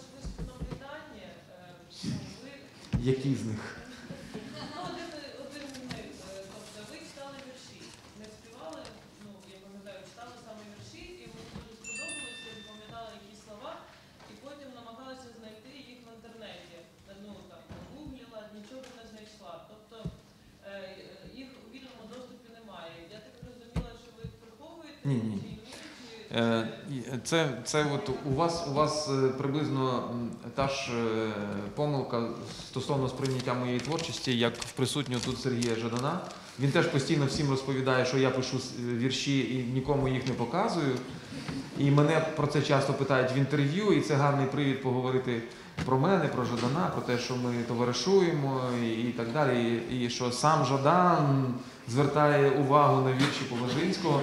Це дуже все класно, але насправді ситуація така. Я вірші не пишу, я пишу тексти пісень. І те, що ви сприйняли як е, вірш, я тоді про це розповідав, просто можливо воно не відклалося у вас в пам'яті. Це був текст пісні. Просто е, це, це була лише частина тексту, другу половину я ще тоді не дописав, і пісні ми з того ще не створили. Зараз цей текст є, є ця пісня, є навіть відеокліп на цю пісню. Знайдіть на Ютубі. Пісня називається Голос крові. І я дійсно кілька разів е, цей текст зачитував як нібито вірш, як, але це, це було читання як текст майбутньої пісні. Мені, мені дуже приємно зараз згадати про те, що востаннє цей текст е, в, в такому ключі е, прозвучав, коли мені вручали в січні 2014 року премію імені Василя Стуса. І е, це була остання премія Стуса, яку е, вручав Євген Сверстюк. І, е, чесно кажучи, ну для мене цей шматок тексту, от через призму цього спілкування з паном Євгеном, є дуже таким важливим, бо я ще почув дуже гарні схвальні слова і стосовно цього тексту також від пана Євгена. От, але е, приблизно через півроку після цього я, можливо, навіть трошечки раніше, я написав другу частину тексту. І ця пісня вже є в альбомі Вічність. І е, влітку минулого року ми зняли відеокліп на цю пісню, знімали на Хортиці в Запоріжжі. І це був подарунок групи Тартак Україні до Дня Незалежності України. До 25-ліття на ювілей. Це, знаєш, що нагадує? Сидять е, Пантелеймон Куліш і Тарас Григорович Шевченко. І Куліш говорить Шевченку, хороший в тебе вірші. «Та я не пишу вірші, а пісні, так тексти пісень пишу. Шевченко відповідає, а Куліш йому каже, да ні, це вірші. Так, да ні, це тексти пісень, от побачите, і будуть співати. От е, він насправді вірші пише. Так. Він Тоб- пише вірші, просто він, крім віршів, пише ще й музику. Тобто, тобто е, в даному випадку Шевченко я? В даному випадку Шевченко ти безперечно.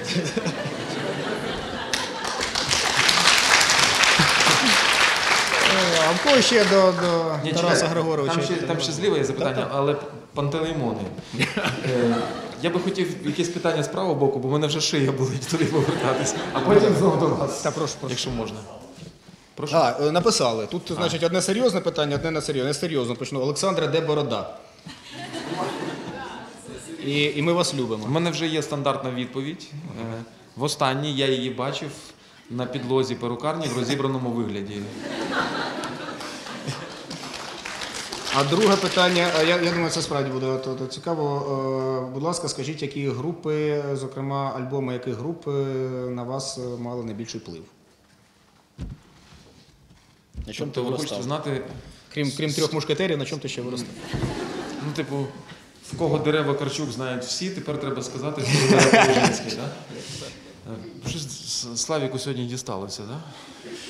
Ну це заздрощі, чесно скажу. Заздрю по чорному.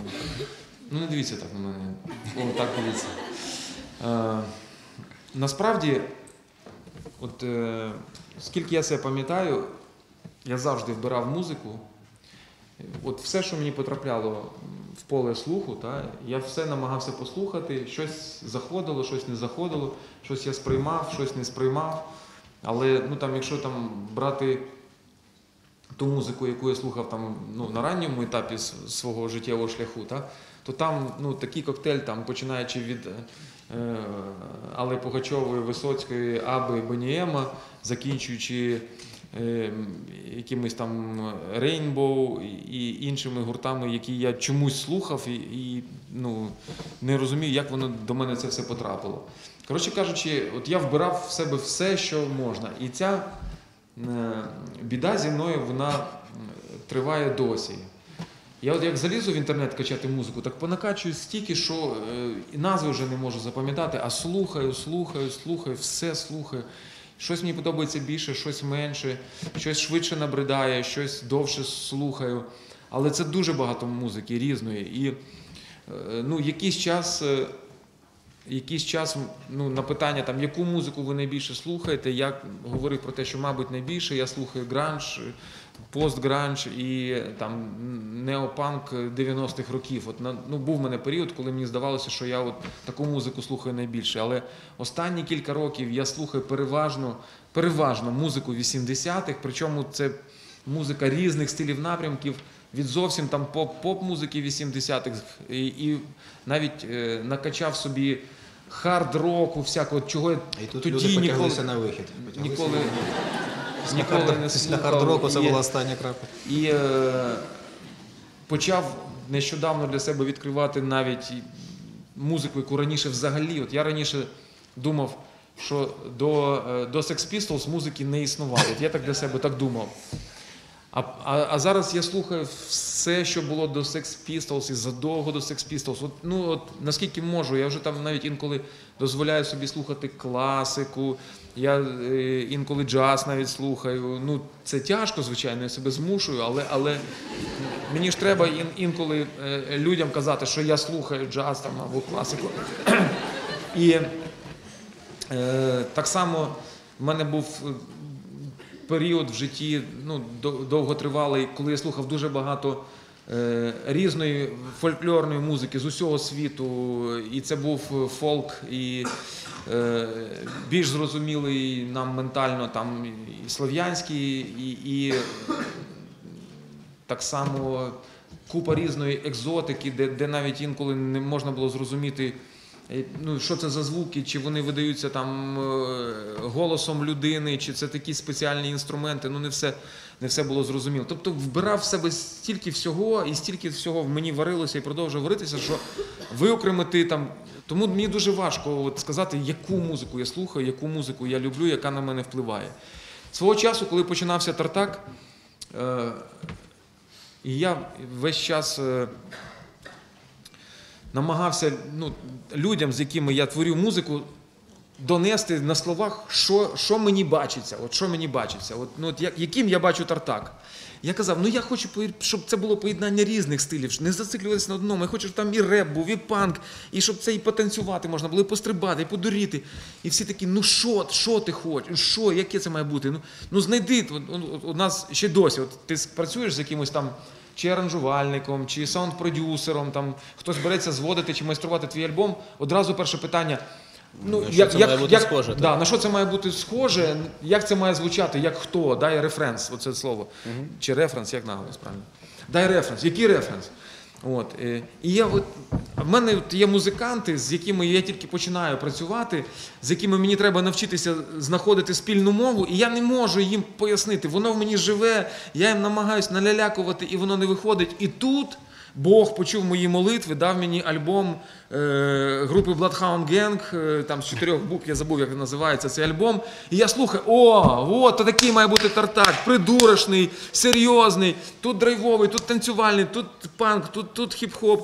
І е, от е, на початках орієнтир був такий. От, але потім Bloodhound Gang ну, таке вже почали виробляти з музикою, що вже точно вже вони ні в я... Ну і ми почали е, Не змінювати. кращим чином.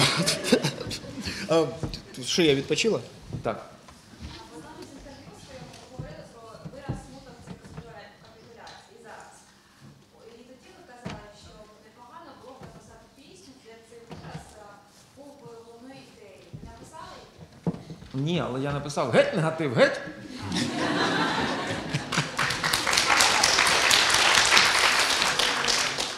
А що, на ваш погляд, не вистачає сучасним українським книжкам? Да, до речі. О. Так, Тараса Григоровича, до речі. А ми зараз е, про переклади чи про українських авторів? Про переклади, про переклади. Ну, ми про, ми про книжку, як про те, що береш в руки, відкриваєш і читаєш. Чи, чи про, про те, що, е, що пишуть наші автори? Про що? Ні, ну, ну просто різні речі. От я нещодавно, і я сьогодні знову ж таки в інтерв'ю це згадував, нещодавно прочитав книжку видавництва Наш формат. А наш формат заснував мій хороший друг Владислав от, е, Кириченко. І е,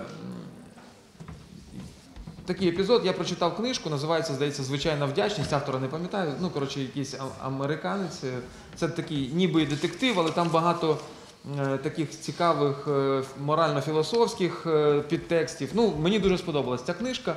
Все мені в ній сподобалось. І тим більше я дуже не люблю, знаєте, книжки в м'якій обкладинці, а книжки в твердій обкладинці е, вони ну, доволі важкими виходять. А тут зробили книжку, така якась середня обкладинка, вона ніби е, на дотик і е, як тверда обкладинка, але на вагу як, як м'яка. А я якраз її е, літав е, до сестри в Швейцарію. Якраз я її брав в літак, і там же є обмеження по, по вазі. Я такий був радий, о, книжка товста, змістовна, але легенька. І, і, і е, не, не рветься, як у ці в м'яких обкладинках, зручно читається. Все було добре в цій книжці. За винятком одного. Величезна кількість помилок в тексті. Величезна кількість. Ну і я ж. е, А мій друг Владислав, він такий перфекціоніст. Він постійно всіх критикує, українців в тому числі. Причому, коли він їх критикує, він каже не українці, а українчі. Він любить це слово так познущатися з нас, з українців. І він так любить. Чи українці, вони нічого не вміють робити. От він так навмисно, так от, е, що, мовляв, от ми такі недолугі. Ну він нас страшенно любить, він сам українець. Е, От, е, але, але інколи е, ми, українці, е, одне одного доводимо до того, що ми одне одного починаємо не любити, критикувати і е, називати. І от він завжди любить, от що з українцями дуже важко мати справу, що, що вони завжди намагаються десь схалявити, щось погано зроблять. І тут я бачу, якби. Книжку видавництва Владислава, де ну просто ну там буває інколи хибнодруки, та ну час від часу трапляються. Або десь там ну прогавили якусь помилку. А тут реально там ну помилка на помилці, і це так кидається в очі, і це так, ну. І я ж згадую, що кілька років тому з приводу однієї книжки я Владиславу вже робив зауваження, що Владислава, треба якось фільтрувати тексти. Ну, щоб і ваші книжки читають в тому числі і грамотні люди також. От. І е, я Владиславу кажу: Владиславе, от прочитав вашу книжку, ну, книжку вашого видавництва, все прекрасно, але дуже багато помилок. Е, Я отримав адекватну відповідь. Літературного редактора вже звільнено. От, е, нам, ну, власне, не вистачає, мені здається, відповідального ставлення до роботи. Я колись е, відкрив для себе прекрасну книжку, я не пам'ятаю вже, хто автор. Це якесь вінницьке видавництво. Е, переклад. Як же Дороті, Дороті, ну не згадаю. Дуже класна книжка, значить, десь приблизно про середні віки, можливо, про, про пізні середні віки. Про феодалізм. Про те, як розвивався, е, так, до речі, про феодалізм, як, як, як уже буржуаз, буржуазія зароджувалася в, в, в часи феодалізму.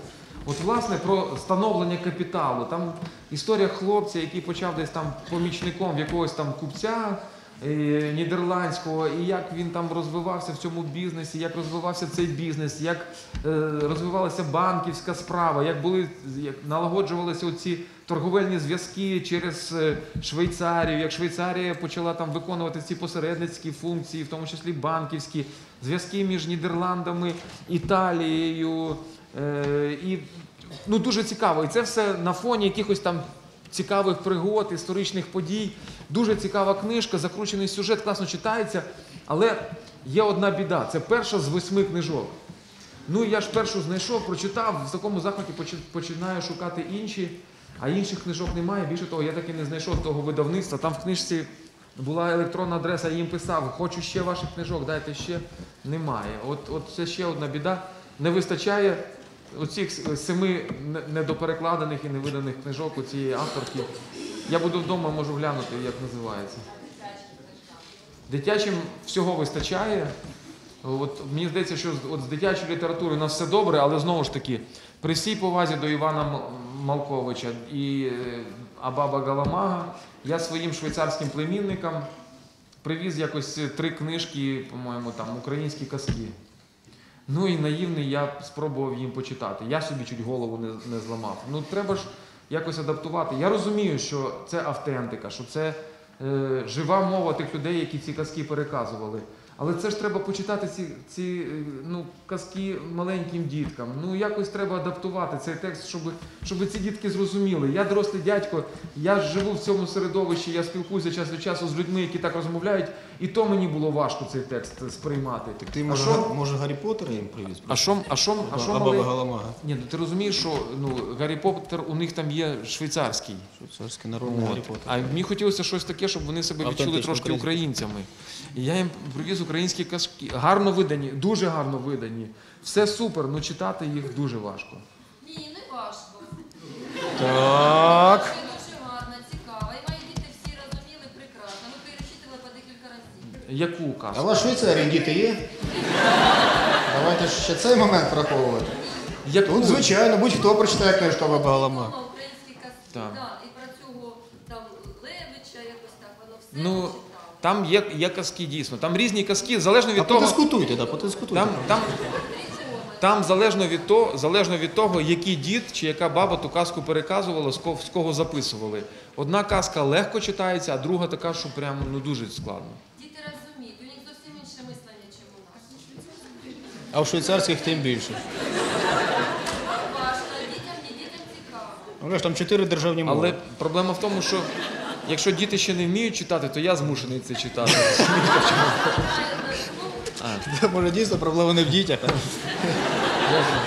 Тараса Григоровича. Добре, забираю. Є ще забираю. питання? Так, прошу. Забираю, а баба Галамага рулить. У меня вопрос по поводу пиратства. Как Так. вы относитесь к тому, что вашу музыку тиражируют и распространяют в интернете? Перше питання не про Вакарчука, Що можу ж- що ж ви відповідати так- щиро. Що ж ви так потираєте руки? Я, я думаю, коли я востаннє просто стикався з цим явищем, що мою музику тиражують в інтернеті. Насправді я за. Я за те, щоб мою музику. Ну от е, е, перший і єдиний поки що альбом був є. Я сам виклав в інтернеті. Слухайте, качайте. До речі, хто не чув Сашко.com.ua, безкоштовно. Е, Мені важливо, щоб слухали. Звичайно, мені трошки прикро, коли хтось на цьому заробляє, зі мною не ділиться. Але в принципі, е, ну наскільки я знаю, там такі пірати, як е, X.ua, коли вони існували, з ними можна було домовитися, щоб вони це припинили, якщо е, артист цього хоче. Тобто, ну, є нормальні пірати, як там шляхетні пірати, з ними можна мати справу. А є, звичайно, безсоромні флібустієри, е, які тобі ще вірусів накидають в комп'ютер, щоб всі думали, що ти на порносайт заходиш. Ну, ну, проти цих я конкретно, звичайно, виступаю. Хоча я, чесно кажучи, я так давно не, не стикався з. Як це називається? З таким явищем, що дуже там аж сильно поширюють пірати мою музику.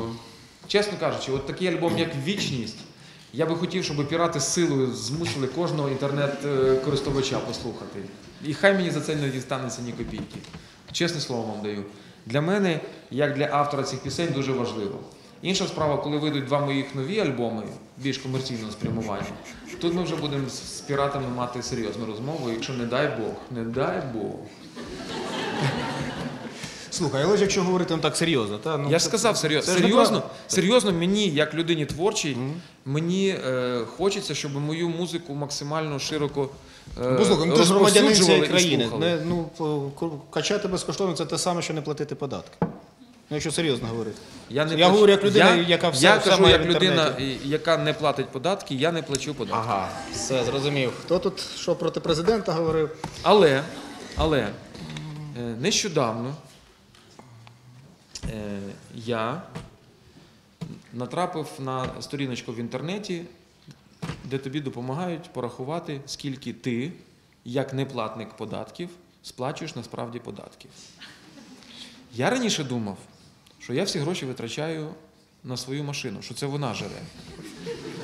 Але цей сайт мені показав, що насправді це податки все зжирають. Насправді величезні суми я, як людина, яка думає, що не платить податки, сплачую у вигляді податків. Сайт якоїсь політичної партії? Ні, це не сайт політичної партії, це сайт людей, які знають, як формується ціна на ті товари, які я купую в супермаркетах, е, на автозаправках і всюди, де я отримую чек, яка кількість грошей з цього чека йде в, Ну, в Це сайт політичної партії. Так повір мені, повір мені, повір мені, при всій моїй любові до України і до всього українського, я від України стільки не маю, скільки я сплачую їй податки, не сплачуючи податків. Чесно.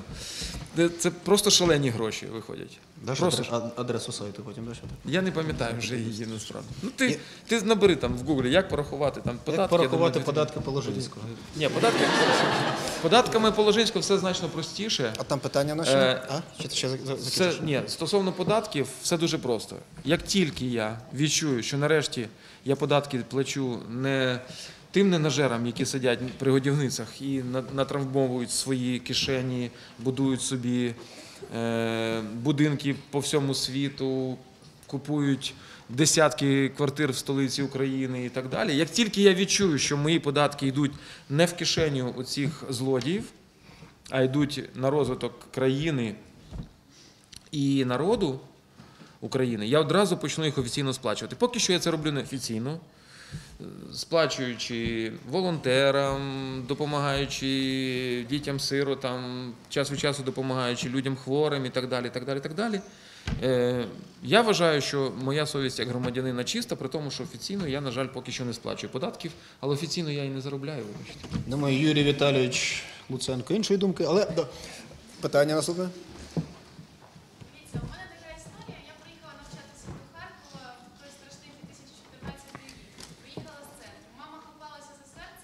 Звідки приїхали, вибачте? З центру, з центрального приїхала. А звідки саме, скажіть, будь ласка?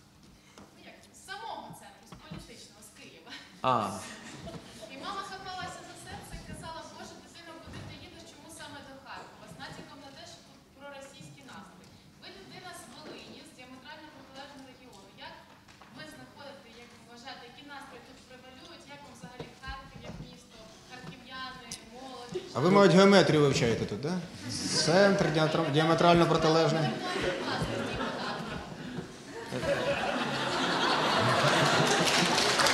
Чи такі питання? Я хочу сказати, що навіть скачуючи ваші пісні, ми платимо в державу. Навіть легально. То це ви були, так? Да? ні, ну е, ви розумієте, що приїжджаючи до Харкова, я потрапляю у відповідне середовище. Навіть коли там зі мною десь там на вулиці якісь люди мене впізнають і пробують говорити, вони в- розмові зі мною навіть намагаються здебільшого переходити на українську мову. І тому в моїй уяві Харків дуже проукраїнське і навіть е, переважно україномовне місто. Ну, але... Бо я кажу тільки про те, що бачу я. Паном Кернесом я, наприклад, не спілкуюся. Я не знаю, як там в його світі. От. е, На мої концерти приходять люди близьких мені поглядів. Так? Е, Тут, ну, мені здається, теж зібрались люди, якщо Пантелеймон і Тарас цікаві, то значить люди ну, прийшли відповідного ментального спрямування. Так? Дуже рідко е, в мене трапляються моменти спілкування з людьми випадковими, які не знають, хто я, які там спитали в мене котра година, е, а є ж закурити, а якщо знайду. Таке дуже рідко трапляється, таке востаннє е, було зі мною в Харкові в 97-му році. Але я тоді був молодий і борзий, і в нас там був цілий готель, таких як я, тому там все, все закінчилося дуже позитивно. Е, ну, загалом, я ж, я ж кажу, ну навіть от. Е, Якщо брати ну, там, Фейсбук аудиторію, то навіть на Фейсбуці всі харків'яни, вони все одно, які спілкуються зі мною, в моїх очах вони є моїми однодумцями. Тому мені от, ну, важко, важко судити. Ну, я, я тим більше ну, там, давно е, знайомий, товаришую і навіть час від часу дружу е, з такими харківськими хлопцями, як танок на Майдані Конго. Та? Я ж е, побачив, яка величезна трансформація з хлопцями відбулася, відбулася за час нашого знайомства. Від е, моменту, коли хлопці е, час від часу дозволяли собі жартувати з приводу того, що Положинський не розуміє там російської мови, що Положинський кидається на всіх, хто говорить російською і так далі. Ну, це в них такі були харківські приколи. До от нещодавно факту, що ми разом з Фаготом і з кількома іншими колегами-музикантами записували увага е, гімн українських націоналістів. Ну, це про щось свідчить, правда? Ну, тому е, зрозуміло, мені важко судити про те, який Харків, е, Харків за межами моєї уваги, мого поля зору. Я впевнений, що не все так добре, як мені здається. Але я впевнений, що поки є такі люди, які створюють це моє оточення, да, оце мій там комфортний простір в Харкові, поки е, приїжджаючи в Харків, я відчуваю, що тут є люди, які мене знають, люблять, слухають мою музику і так далі, то я буду вірити в те, що Харків дійсно українське місто, і що е, ті всі розмови про те, що тут якісь там сепаратистські настрої, там чи антиукраїнські присутні, що це все просто ворожа пропаганда. Правда, пане Пантелеймоне? Абсолютно. В стінах університету е, ворожа пропаганда не ведеться. Ви знаєте, навіть в, е, в Луцьку час від часу може виникнути враження, що 50 на 50. Там все дуже, дуже відносно. І, і за різних обставин по-різному проявляється. Так, коротке, тому що ми в університеті, лекція довга, а можна вийти. Я думаю, ще всередині було б незручно. А перелізайте Я просто. перелізу Ні, просто. ти приходь, і приходьте на Андруховича. Я, я думав, що ми вже взагалі будемо закінчувати. А я думаю, давай, давайте ще от останнє питання. Я, д- да, прошу. Да, звичайно, прошу вас. Там ще десь от, е, там вда- вдалині. Ну, два десь останніх там- питання, давай. Это, ну, это из серии, вот первый вопрос, я вас посмешу, и опять же, ж, чтобы вы ответили.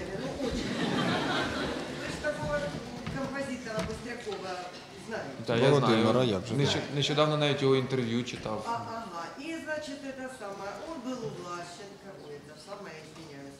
Он был у Влащенко, и, значит, э, насчет таечки повалить. А Влащенко це хто? Ведуча Ну, така. Наташа Влащенко, А.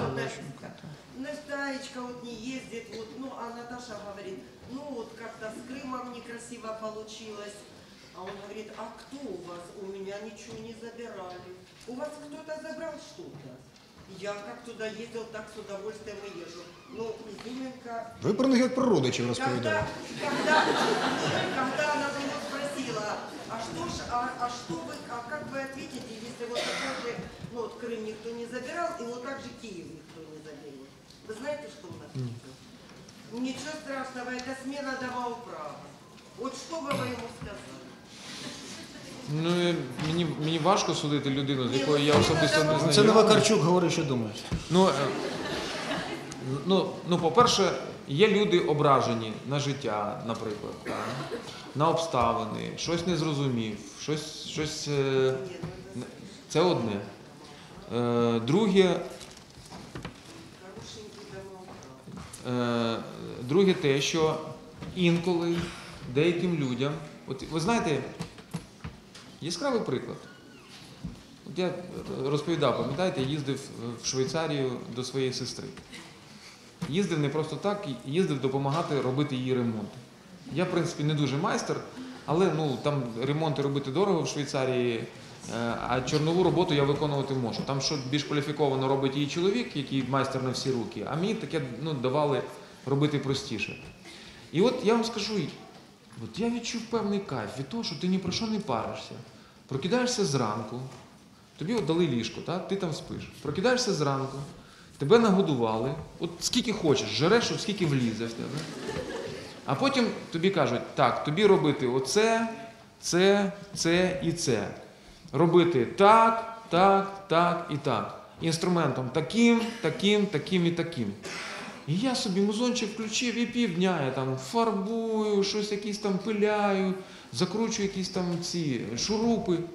Оп, раз час обіду, знову нажерся від пуза. Знов, от робиш це, це. І так тиждень поспіль, з дня на день. Я не виходжу з хати, я там визирнув вікно, о, клас, Швейцарія, прикольно. І далі, і далі собі в цьому режимі. І я відчув в цьому є якийсь певний кайф. Ні при чому, в тебе ніяких проблем. Все хорошо, тобі є що пожерти, тобі є поспати, і в тебе є обсяг роботи, який ти маєш виконувати. І тобі не треба ні про що думати, ніяких проблем, ніякої війни, ніякого там болю, ніяких страждань. Ти собі кайфуєш. Може, дійсно певним людям так простіше жити. Ну, мені знову ж таки важко, я не дуже знайомий з паном Володимиром, я не знаю, як він там жив. Ну, можливо, можливо, йому там в Радянському Союзі жилося краще, я не знаю. Можливо, у нього є якась е, образа, там, на- наприклад, на українців за те, що там пані Оксана Забушко виступає проти Михайла Булгакова, наприклад. Може, така образа в нього там присутня. Може, ще щось його зачепило. Може, ну. Я чув, що він себе позиціонує як людина, яка там не хоче там, е, бути близько біля кормушки, біля ла. Може, його Рибчинський зачепили, до речі, теж. Бо він там щось дуже жорстко на них жене, і дійсно, ну, вони щось трошки там е, занадто сильно, мені здається, поліз. Дуже багато є причин, чому людина могла так сказати. Знову ж таки, може бути звичайний артистичний кураж. От для артистів це слово дуже багато що значить. Тому ну, от я би не, не брався судити людину тільки от, от за, за один такий вислів, хай навіть не надто мудрий, хай, можливо, навіть провокативний. А може це дійсно провокація, може він хотів, щоб про нього згадали. Може, давно не писав пісню про білу ворону. Може, Леонтів пісень не замовляє давно. Я ж не знаю, що там ну, в людини. Мені важко судити. Ну, мені не хочеться от з якогось одного епізоду е, робити висновок.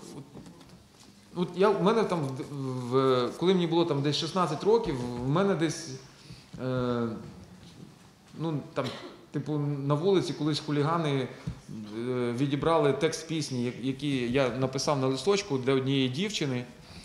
І я їм дав можливість себе ошманати. Я знав, що в мене немає грошей, типу, їх було більше, ніж я. І я боявся, чесно. От я реально перелякався. Ну, і, е, чесно кажучи, оцей факт, ну, те, що я злякався якихось двох чмирів, які мене, ну реально, вони мене запресували чисто по базару, як то кажуть. І я реально, ну тоді от мені було страшно. Ну, буває таке в житті.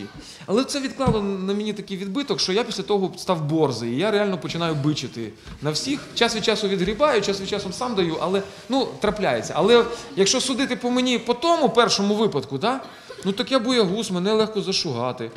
Я такі теж буваю час від часу, але не завжди. Ну, не можна по якомусь одному вчинку, слову, навіть по трьох не можна повністю судити по людині. Можуть бути різні обставини, можуть бути е, різні трактування.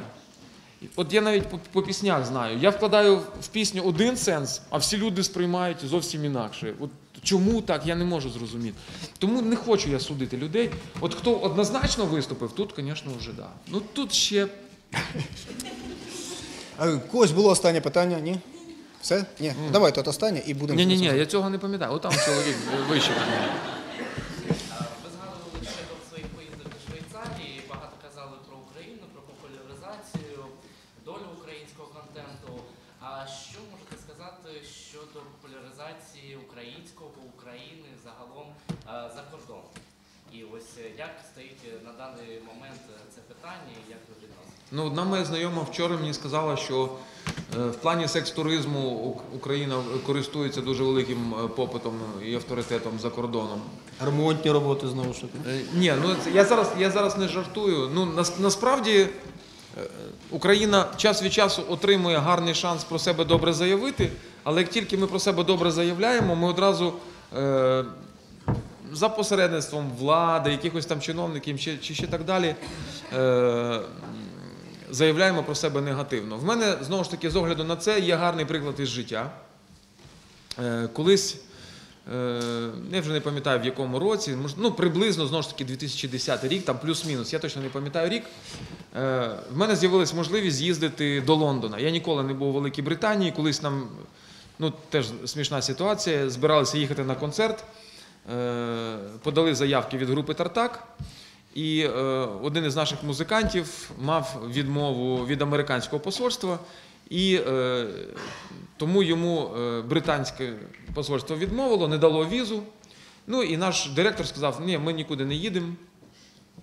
І, е, тому що ну, от нашому клавішнику не дали візу, ми ж типу команда, як же ми можемо без клавішника. І ми тоді не поїхали, а потім, коли менеджер наш е, повернув е, паспорти, виявилося, що в мене там стояла двохтижнева британська віза, і я міг би просто з'їздити е, в гості до Лондона. І, але я про це не знав. Віза вже втратила свій сенс, я нікуди я розізлився, і оцей втрачений шанс мене дуже мучив. І от виникла в мене можливість поїхати в Лондон. Я за неї вхопився. Е, можливість яка? В Лондоні проходила е, туристична виставка, і в мене є друзі в туристичній фірмі, які можуть мене нібито на цю виставку послати, е, за рахунок цього зробити мені швиденько британську візу без проблем, щоб я зміг туди злітати. Я, звісно, скористався цією нагодою, але в моїх друзів, які робили мені цю візу, була одна умова, що я би хоча б на день зайшов на цю виставку, щоб подивитися, що там і як. Ну просто там зібрати якусь інформацію, їм привезти, і щоб вони могли сказати, що їхній представник був на цій виставці, там десь себе на сайті написати про це. Ну і я чесно виконав це діло, прийшов на цю виставку. Щоб ви розуміли, величезний виставковий там комплекс, я не знаю, скільки там гектарів його. Кожна країна представляє там себе як мож... ну, якісь там найбідніші африканські країни, яких немає, такі величезні там в них е, експозиції, якісь там стилізовані там ці е, африканські якісь там будиночки там з пальм збудовані, якісь там музики грають, там якісь народні там мистецтва. Ну, всюди десь якесь шоу, щось показано, всюди цікаво, насичено. Я хожу, шукаю, де ж та Україна? Пройшов все, обходив все, знайшов в Україну. Знову ж таки, там Росія там, в 10 разів більше, ніж всі. Е, так, ну, мас- масивна. І десь в дальньому кінці е, за- заднього ходу від Росії в маленькому куточці кілька е, стін газет висить шкільних. Це була е, представлена виставка України. І я підходжу, питаю дівчат, «Е, що це таке? Що це? Це, типа, от у нас така експозиція. І до вас хтось сюди доходить, ну от ви прийшли, нате вам. Нате. А де, де там, посадіть там, не знаю, лірника, кобзаря, е, козаків кілька покажіть, щоб тут порубалися на шаблях, гончара якогось там, ще там мистецтва, там, музики, дахобраха хай пограє тут. Я не знаю, ну стільки всього можна показати. У нас ну реально в стилі шкільної стенгазети, якісь там вирізки. е, І, і там якась роздрукована продукція. Це позор. Я розмовляю з дівчиною, кажу: слухай, так а, а що, що це таке? Каже, ти ще головного не знаєш. Що? Приїхала делегація 50 чоловік. Ну, може, може 30, ну кілька десятків чоловік приїхала Що делегація. порожньо? Понабирали, понабирали там своїх е, коханців, коханок, бухають в готелі. От, от, от вам Україна на міжнародному рівні як, як представлена. Про що ми можемо говорити? Ну, це ну, приблизно 2010. І в якій галузі була виставка? Туристична. Туристична. Міністр туристична туризму- виставка. міністр туризму. Од- Одна з- з найбільших е, виставок в світі туристичного характеру. Тобто, е, для того, щоб себе представити зовні, спочатку себе представити треба всередині. От до чого я веду. Коли ми тут е, матимемо що представляти туди, можна вже думати про це. А то що в нас виходить? Коханка, Основна готелі. олімпійська збірна їде і виступає, і їм цього мало. Е, Олімпійська збірна, ні, вірніше, паралімпійська збірна їде і, і приїжджає з фурором. Так? Тобто все тримається на ентузіазмі людей. А треба, щоб, щоб працювала система. І останнє запитання від чоловіка з, з якоїсь там. Питання здебільшого Даха Браха здається більше там. Ну, питання більш до пана Куліша, Тараса Григоровича, думка так само цікава. Е, От дослівно кілька годин на Фейсбуці ви питалися, що книгарні порожні. так? Питання виникло таке, чи має якийсь вплив автор на ціну кінцевого продукту? Ну, з книжки, так, зокрема. На ціну? На ціну, на ціну. Ви можете якось впливати? Я приклад просто приведу. Я останнє заходив е, в книгарню, купував абетку, Абапа Галамар. Ну там я знав, на що далі. Я розумію, що ціна буде там жив, все, поліграфія. І ну, без образ м- маленьку життя Марії. Коли на неї так само ціна була близько 90 гривень, ну трохи почало тіпати. Е, Це твоя Ну, книжка. зрозумійте правильно, це ну, без закидів, тобто воно все догувати. Просто зараз такий час, коли ну, здебільшого заходить собака пал. В нього немає 90 гривень на маленьку збірочку. Чи є якась можливість трохи Е, Є, так. Якщо я зрозумів питання ваше. Є можливість, якщо автор відмов... ну, так, якщо я відмовлюся від е, свого гонорару, то книжка буде коштувати не 90, а 80 гривень. Я не знаю, в вашому випадку це врятує щось? Е, Книгарні є, наскільки я знаю, вони роблять е, накрутку 100, 100%, якщо не більше. Купуйте в видавництві, це буде коштувати 30-40 гривень. Так. Ну, це тут ви- ну, це, це питання не до автора. А я, я, ще, я ще вам здам один цей лайфхак за заїзд. Знаєте, є таке? В багатьох магазинах є полички з оціненими книжками. І там От я без там жартів, купую без жартів, там так. можна знайти дуже класні книжки. Ні, ну ні, якщо вам тільки Жадан треба, то я думаю, вас взагалі книжки цікавлять. Ну, насправді так, я розумію, про що ви говорите, е, але знаєте, я мушу сказати, що е, і життя Марії, і е, тамплієри, да, ми домовлялися з видавцями, щоб вони коштували не, не стільки, скільки хочуть видавці. Тобто, ну от ви уявляєте, якби я не стримував своїх видавців, скільки би це коштувало. Ну, я насправді завжди прошу видавців, щоб це коштувало трішки менше. Ну, справді, так. Тобто це не те, що намагаюся перед вами якось вам, вам сподобатися. Да? 100 років треба. От, а ну, ну так, так є, да. Але з іншого боку, з іншого боку, ну я справді те, що ви читали цей пост, да, от в мене є така велика претензія до читачів. Тому що ти що є на Фейсбуці? Ну, я через прес-секретаря, скажімо так. Жартую. Е, Там я, я просто намагався людей затягнути на твій вечір, да, на виступ з тобою, тому що я бачу, що катастрофічно ніхто не хоче йти. І сказав, що будемо говорити на різні цікаві теми. Зокрема, на ту тему, що українці часто висловлюють претензії до української музики, до її якості, до української літератури, але при цьому ні купують квитки на, на концерти, ні купують книжок. Ну, є така річ, і насправді. Чого? Я, А? а я навпаки знаю, що і на концерти ходять. Ти якийсь песиміст. А Я Геть негатив, Я геть. скоріше реаліст. Тому що біля мене нещодавно відкрили книгарню є на вулиці Пушкінській, та? і я як туди не зайду, там от крім мене і продавця нікого немає. І мені це страшенно не подобається, тому що книгарня фантастична, книгарня дуже хороша, і книгарні є взагалі треба підтримувати, попри те, що вони роблять 100% накрутку на книжки. Так? Все одно їх треба підтримувати. Я цю книгарню підтримую як можу. От е, в мене була презентація. Вибач, я про себе, я мовчав Та ні, та слухай, ні, я, Тарас я Григорович, просто вибачте, сиджу, в мене не складається в голові. Е, Я, Цілий вечір. е, да, я цілий як не вечір. зайду в книгарню, от реально, от я як ти не зайду. заходиш на в книгарню е, є на Лисенка в Києві. Ні, не тільки. Ну там теж. Ні, ну є Зайди, книгарня. будь ласка, книгарню є е, на, на, на Пушкінській місті Харкові. Слухай, я Ось, був- і я, я, робив, я робив презентацію, я значить, на, на презентацію спеціально не взяв книжок. А, а всі почали ображатися, як же так, що за презентація, а книжки немає. Я кажу, а тут поруч 200 метрів звідси є книгарня, є, підіть там і купіть. І всі пішли і зробили виручку книгарні. є. Це до того, що доки ми не змінимо все в собі, як сказав Тарас Григорович, доти, доти нічого в цій країні мінятися не буде. Треба починати з себе, ходити купувати українські книжки, слухати українську музику, навіть якщо нам не подобається. Ні, я, не- я не про те, я, я про Франкович. Слухайте, українську музику, навіть, читайте українські книжки, навіть якщо вони вам не подобаються. Підтримуйте.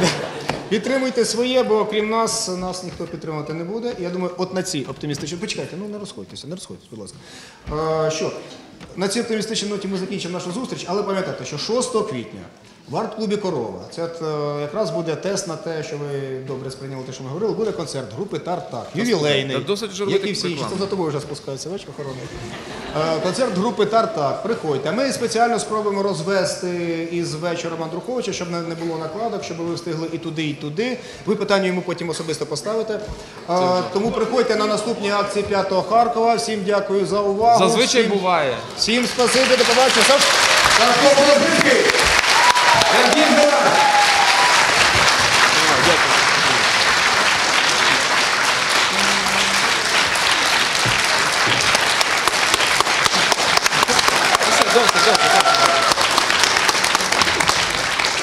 Припиняйте цей сталінізм, все, досить. Все.